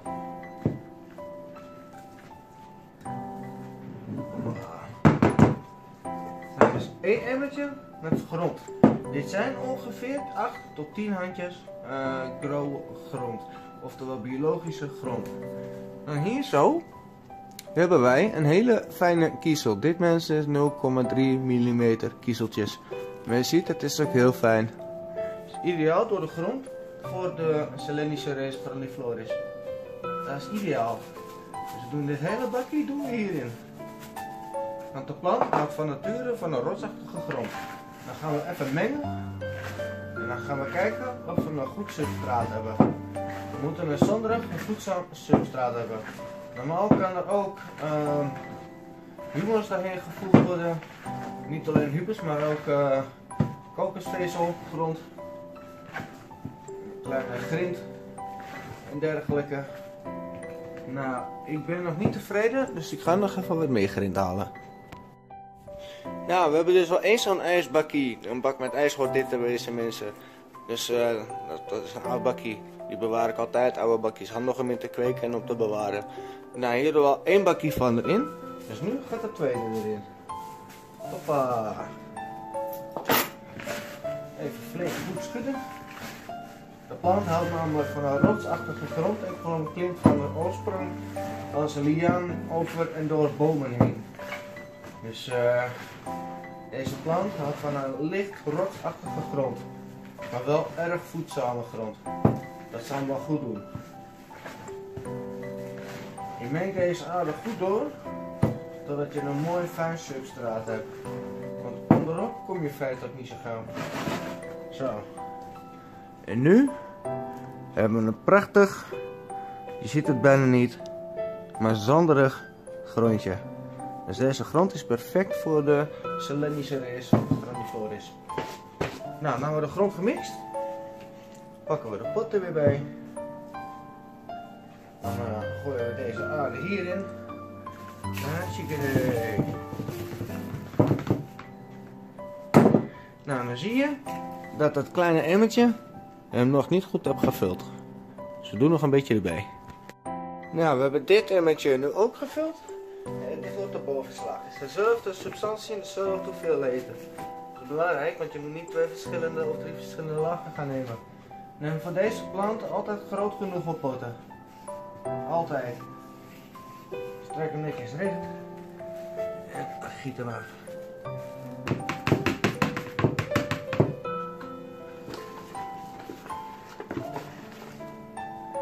Hoppa.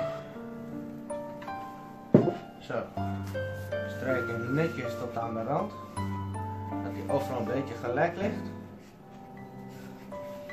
Zo. Nu heeft men een prachtige pot met aarde. Nu pakken we de stekker. We beginnen natuurlijk met één stek. Men ziet de wortels. Deze wortels zijn luchtwortels. Maar als deze wortels in de aarde komen, dan worden het weer grondwortels. Men moet erop letten dat de wond goed droog is. En eh ja, ik denk wel dat ik te sprake ben van een eh, mooi gedroogd wondje. Zou ik zeggen. Dus mensen, dit plantje steken we hier in de aarde.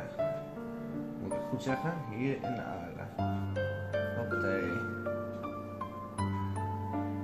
Niet al te diep, ongeveer een vingerkootje is genoeg. En druk hem lichtjes aan. Zo. Nou, nu hebben we één Selenische Reus grandiflores in de grond. Nu nummer 2, ook in dezelfde pot, want dat vind ik een leuk experiment. Nou, deze stek, in de dito hetzelfde. Men zet hier een groeipuntje, geen wondje of iets dergelijks. Dan nemen we de andere kant. En dan zie je hier zo, ziet men wel het wondje. Maar de wond is mooi ingedroogd zoals we zien. Het is een mooi verschrompeld dingetje. Dus deze stoppen we hier zo. Ehm ja, hier zo. Precies daarnaast. Zo.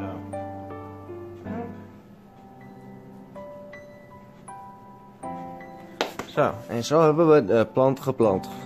In de substraat van universele eh, potgrond. Ah nee, eh, biologische potgrond en brekerzand. 0,3 mm zand. Nou, men geeft deze plantjes de eerste week, twee weken even geen water, totdat het worteltje een beetje is aangesterkt. Mocht je een klein groeipuntje zien, dus dat er iets is gaan groeien, of je ziet een verandering van een worteltje, of er komt een worteltje extra, of je ziet er leven in blijven komen, dan, dan kan je langzaam water geven. Maar in de eerste periode, als je ze zo in de grond zet, geef je eerst nevelwater. Dus het houdt in water beperken. Dus je doet af en toe zo met een nevelpompje en je bent klaar. Dat geldt natuurlijk voor de eerste twee weken, twee, drie weken zoiets. En dan zie je echt leven erin. Nou mensen, de plant wil natuurlijk op de lichtste plek van het huis staan, maar niet in de volle zon. Volle zon, de hele dag direct zonlicht en volle zon kan hij niet hebben. Maar bouw het op en dan kan hij eenmaal wel wat waarderen. En deze plant in eerste instantie moet op een lichte plek. Dat doen we gewoon voor het raam. De lichtste plek van het huis mensen. De lichtste plek van het huis. Deze plant had namelijk van veel gefilterd licht. Dus men ziet hier de plantjes. En die krijgen nu gefilterd licht. Nou, totdat ze eenmaal zijn aangesterkt en groot genoeg zijn, dan gaan ik hem voortplanten. En dan ga ik hem stekken en dergelijke. Maar dat uh, komt dan in andere video's voor. Maar eh, ja, dit is dus hoe je de, eh, de, de, de eh, koningin van de nacht plant. Nou, men ziet hier dat stekje wat ik heb geplant. En dit stekje dat kan heel hard groeien, zeggen ze. Men zegt dat hij binnen vijf jaar of binnen enkele jaren een heel raam kan zijn en volgegroeid. Nou, ik wou zeggen, hij heeft meer dan ruim de kans, want hij mag dat hele stuk volgroeien, vind ik zelf. Tot natuurlijk het plankje hierboven. En eh, verder dan dat gaat hij natuurlijk niet. Dus eh, ja, mensen, deze krijgt de ruimte. Zowel de wortels krijgen ruimte, als de ruimte om te begroeien. Dus hij heeft een eh, behoorlijke oppervlakte. En ik hoop ook dat hij echt snel groot wordt. Maar zoals je ziet heb ik er hier dus een voor het raam. En natuurlijk hebben we hier zo'n cactus. Jawel, ook in een woestijnachtige grond. Iets zandiger dan normaal gesproken. Dit was een eh, substraat voorbereid. Dus deze staat in de kus. En die mag al die stokken gaan volgroeien. Dus die krijgt de ruimte. Ik zet te denken de tweede hierbij te zetten. En ja, zoals je zag, kon je ze voor het raam neerzetten. Ik kies ervoor om ze in de kast te zetten. Dan krijgt ze het meeste licht en de beste temperatuur. Want ik verwarm natuurlijk. Met natuurlijk een ventilatorkachel. Deze kachel is dit dingetje. Die staat vrijwel warm te blazen. Zodat de temperatuur lekker warm be- behagelijk hier binnen blijft. Terwijl het buiten de kast vriest. Mensen, hier staan ze dan bij mij, de rest van de collectie. Hier hebben we er een staan. En hier hebben we er een staan van de koningin van de nacht en de koningin van de nacht. Selene Cereus grandiflorus, queen of the night. Die gaat via deze stokken, de stokken op het dak en zo, gaat die opklimmen. Het is namelijk een klimmende en kruipende cactus met enorm grote bloemen. Die, die lekker ruiken schijnt. En de, de geur schijnt eh, naar vanille te, te, te, ruiken, noem ik het maar even. Deze plant, dames en heren, dankt zijn naam vanwege zijn bloeiwijze. Het is dus een nachtbloeier. Jawel mensen, deze ranken van deze planten kunnen snel 5 meter lang bereiken. Eh, slank, 5 tot 8 ribbig en groeit langs bomen, muren als een vlekwerk van twijgen. De stengels zijn licht gevleugeld en bezet met arioden, met 9 tot 11 geelkleurige doornen. Aan deze knopen en uiteindes ontstaan wortels, waarmee de plant zich vasthecht aan de ondergrond en ze zo voeding wegzuigt. De bloemen bereiken een lengte van 25 cm en een doorsnee van 30 cm. De kelkbladeren zijn groen-geel eh, van kleur, lang en smal. De kroonbladeren zijn zuiver wit.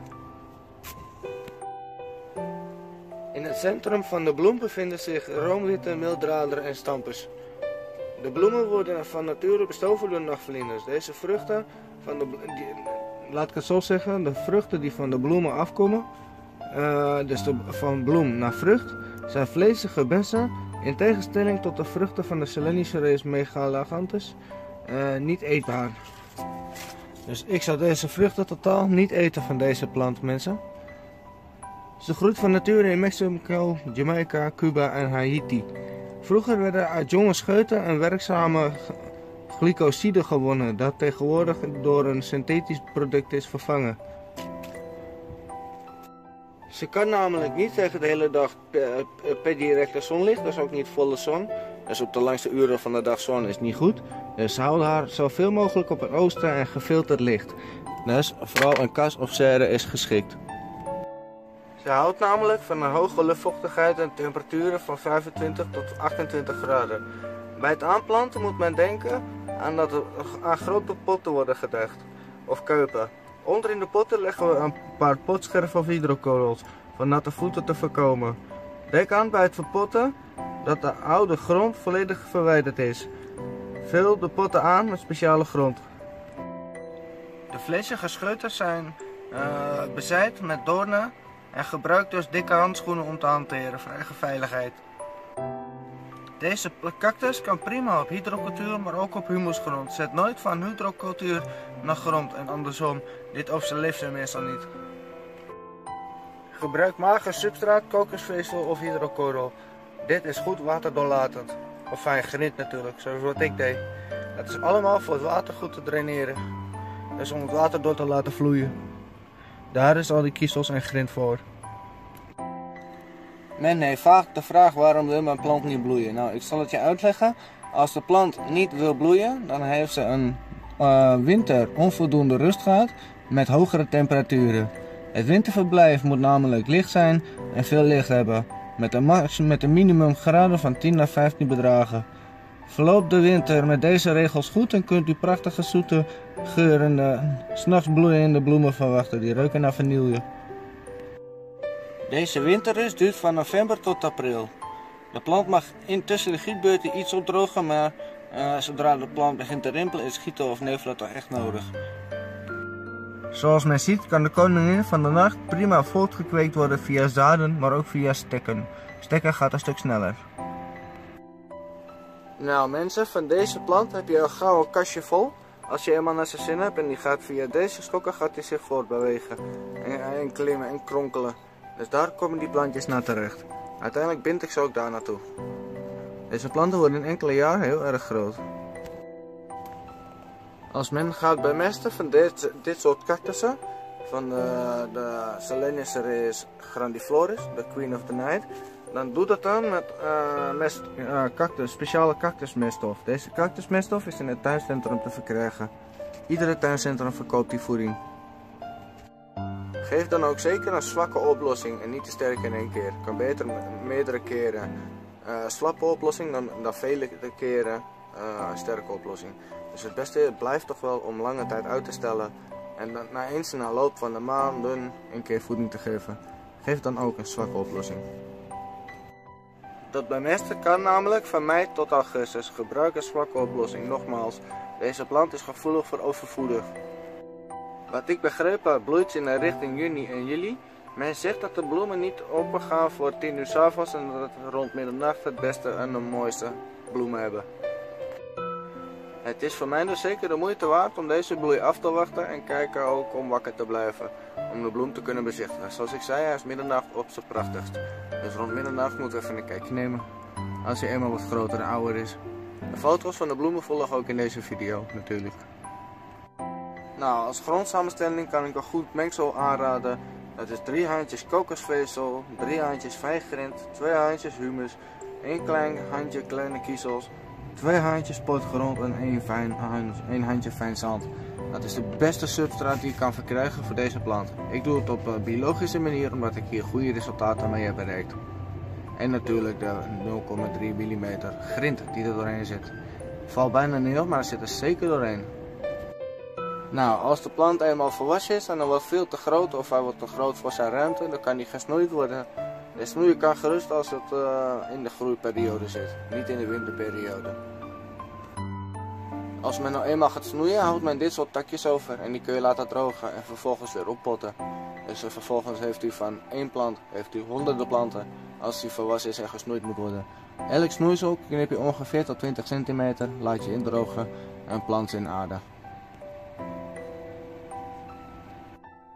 Het is echter wel zo, zitten de bloemen of bloemknoppen aan de stengels, dan mag u totaal niet snoeien. Doet u dat wel, dan vallen de bloemen eraf. Dat is een grote stress. Niet alleen als de plant in een groeiperiode zit en als je in de grond zit heb je licht nodig, maar ook de stekmateriaal heeft licht nodig. Die moet nou helemaal licht hebben om rondom niet te verdrogen of een rare kleur te krijgen. Dus als je de stekken bewaart, leg ze dan op een rooster of op een plank in het licht. Niet in de volle zon. Dat vinden stekken ook niet leuk. Nou mensen, de koningin van de nacht vormt veel luchtwortels, zoals ook wat te zien is. Hij is zo klein en heeft al een luchtworteltje. Deze wortels die groeien in de lucht, en maar als ze in de aarde terechtkomen, vormen ze zich tot om tot grondwortels. Dus van luchtwortel wordt het een grondwortel. Dat uh, is namelijk dat belangrijk, want zo pakt hij houvast en voedingen. De cactus is gevoelig voor luis en andere plagen. Nou, ik heb in andere video's al uitgelegd wat u tegen plagen kunt doen. Jawel, dames en heren, dit was alles rondom de verzorging, de kweek, het stekken, de bloemen, het zaden. Alles rondom de koningin van de nacht.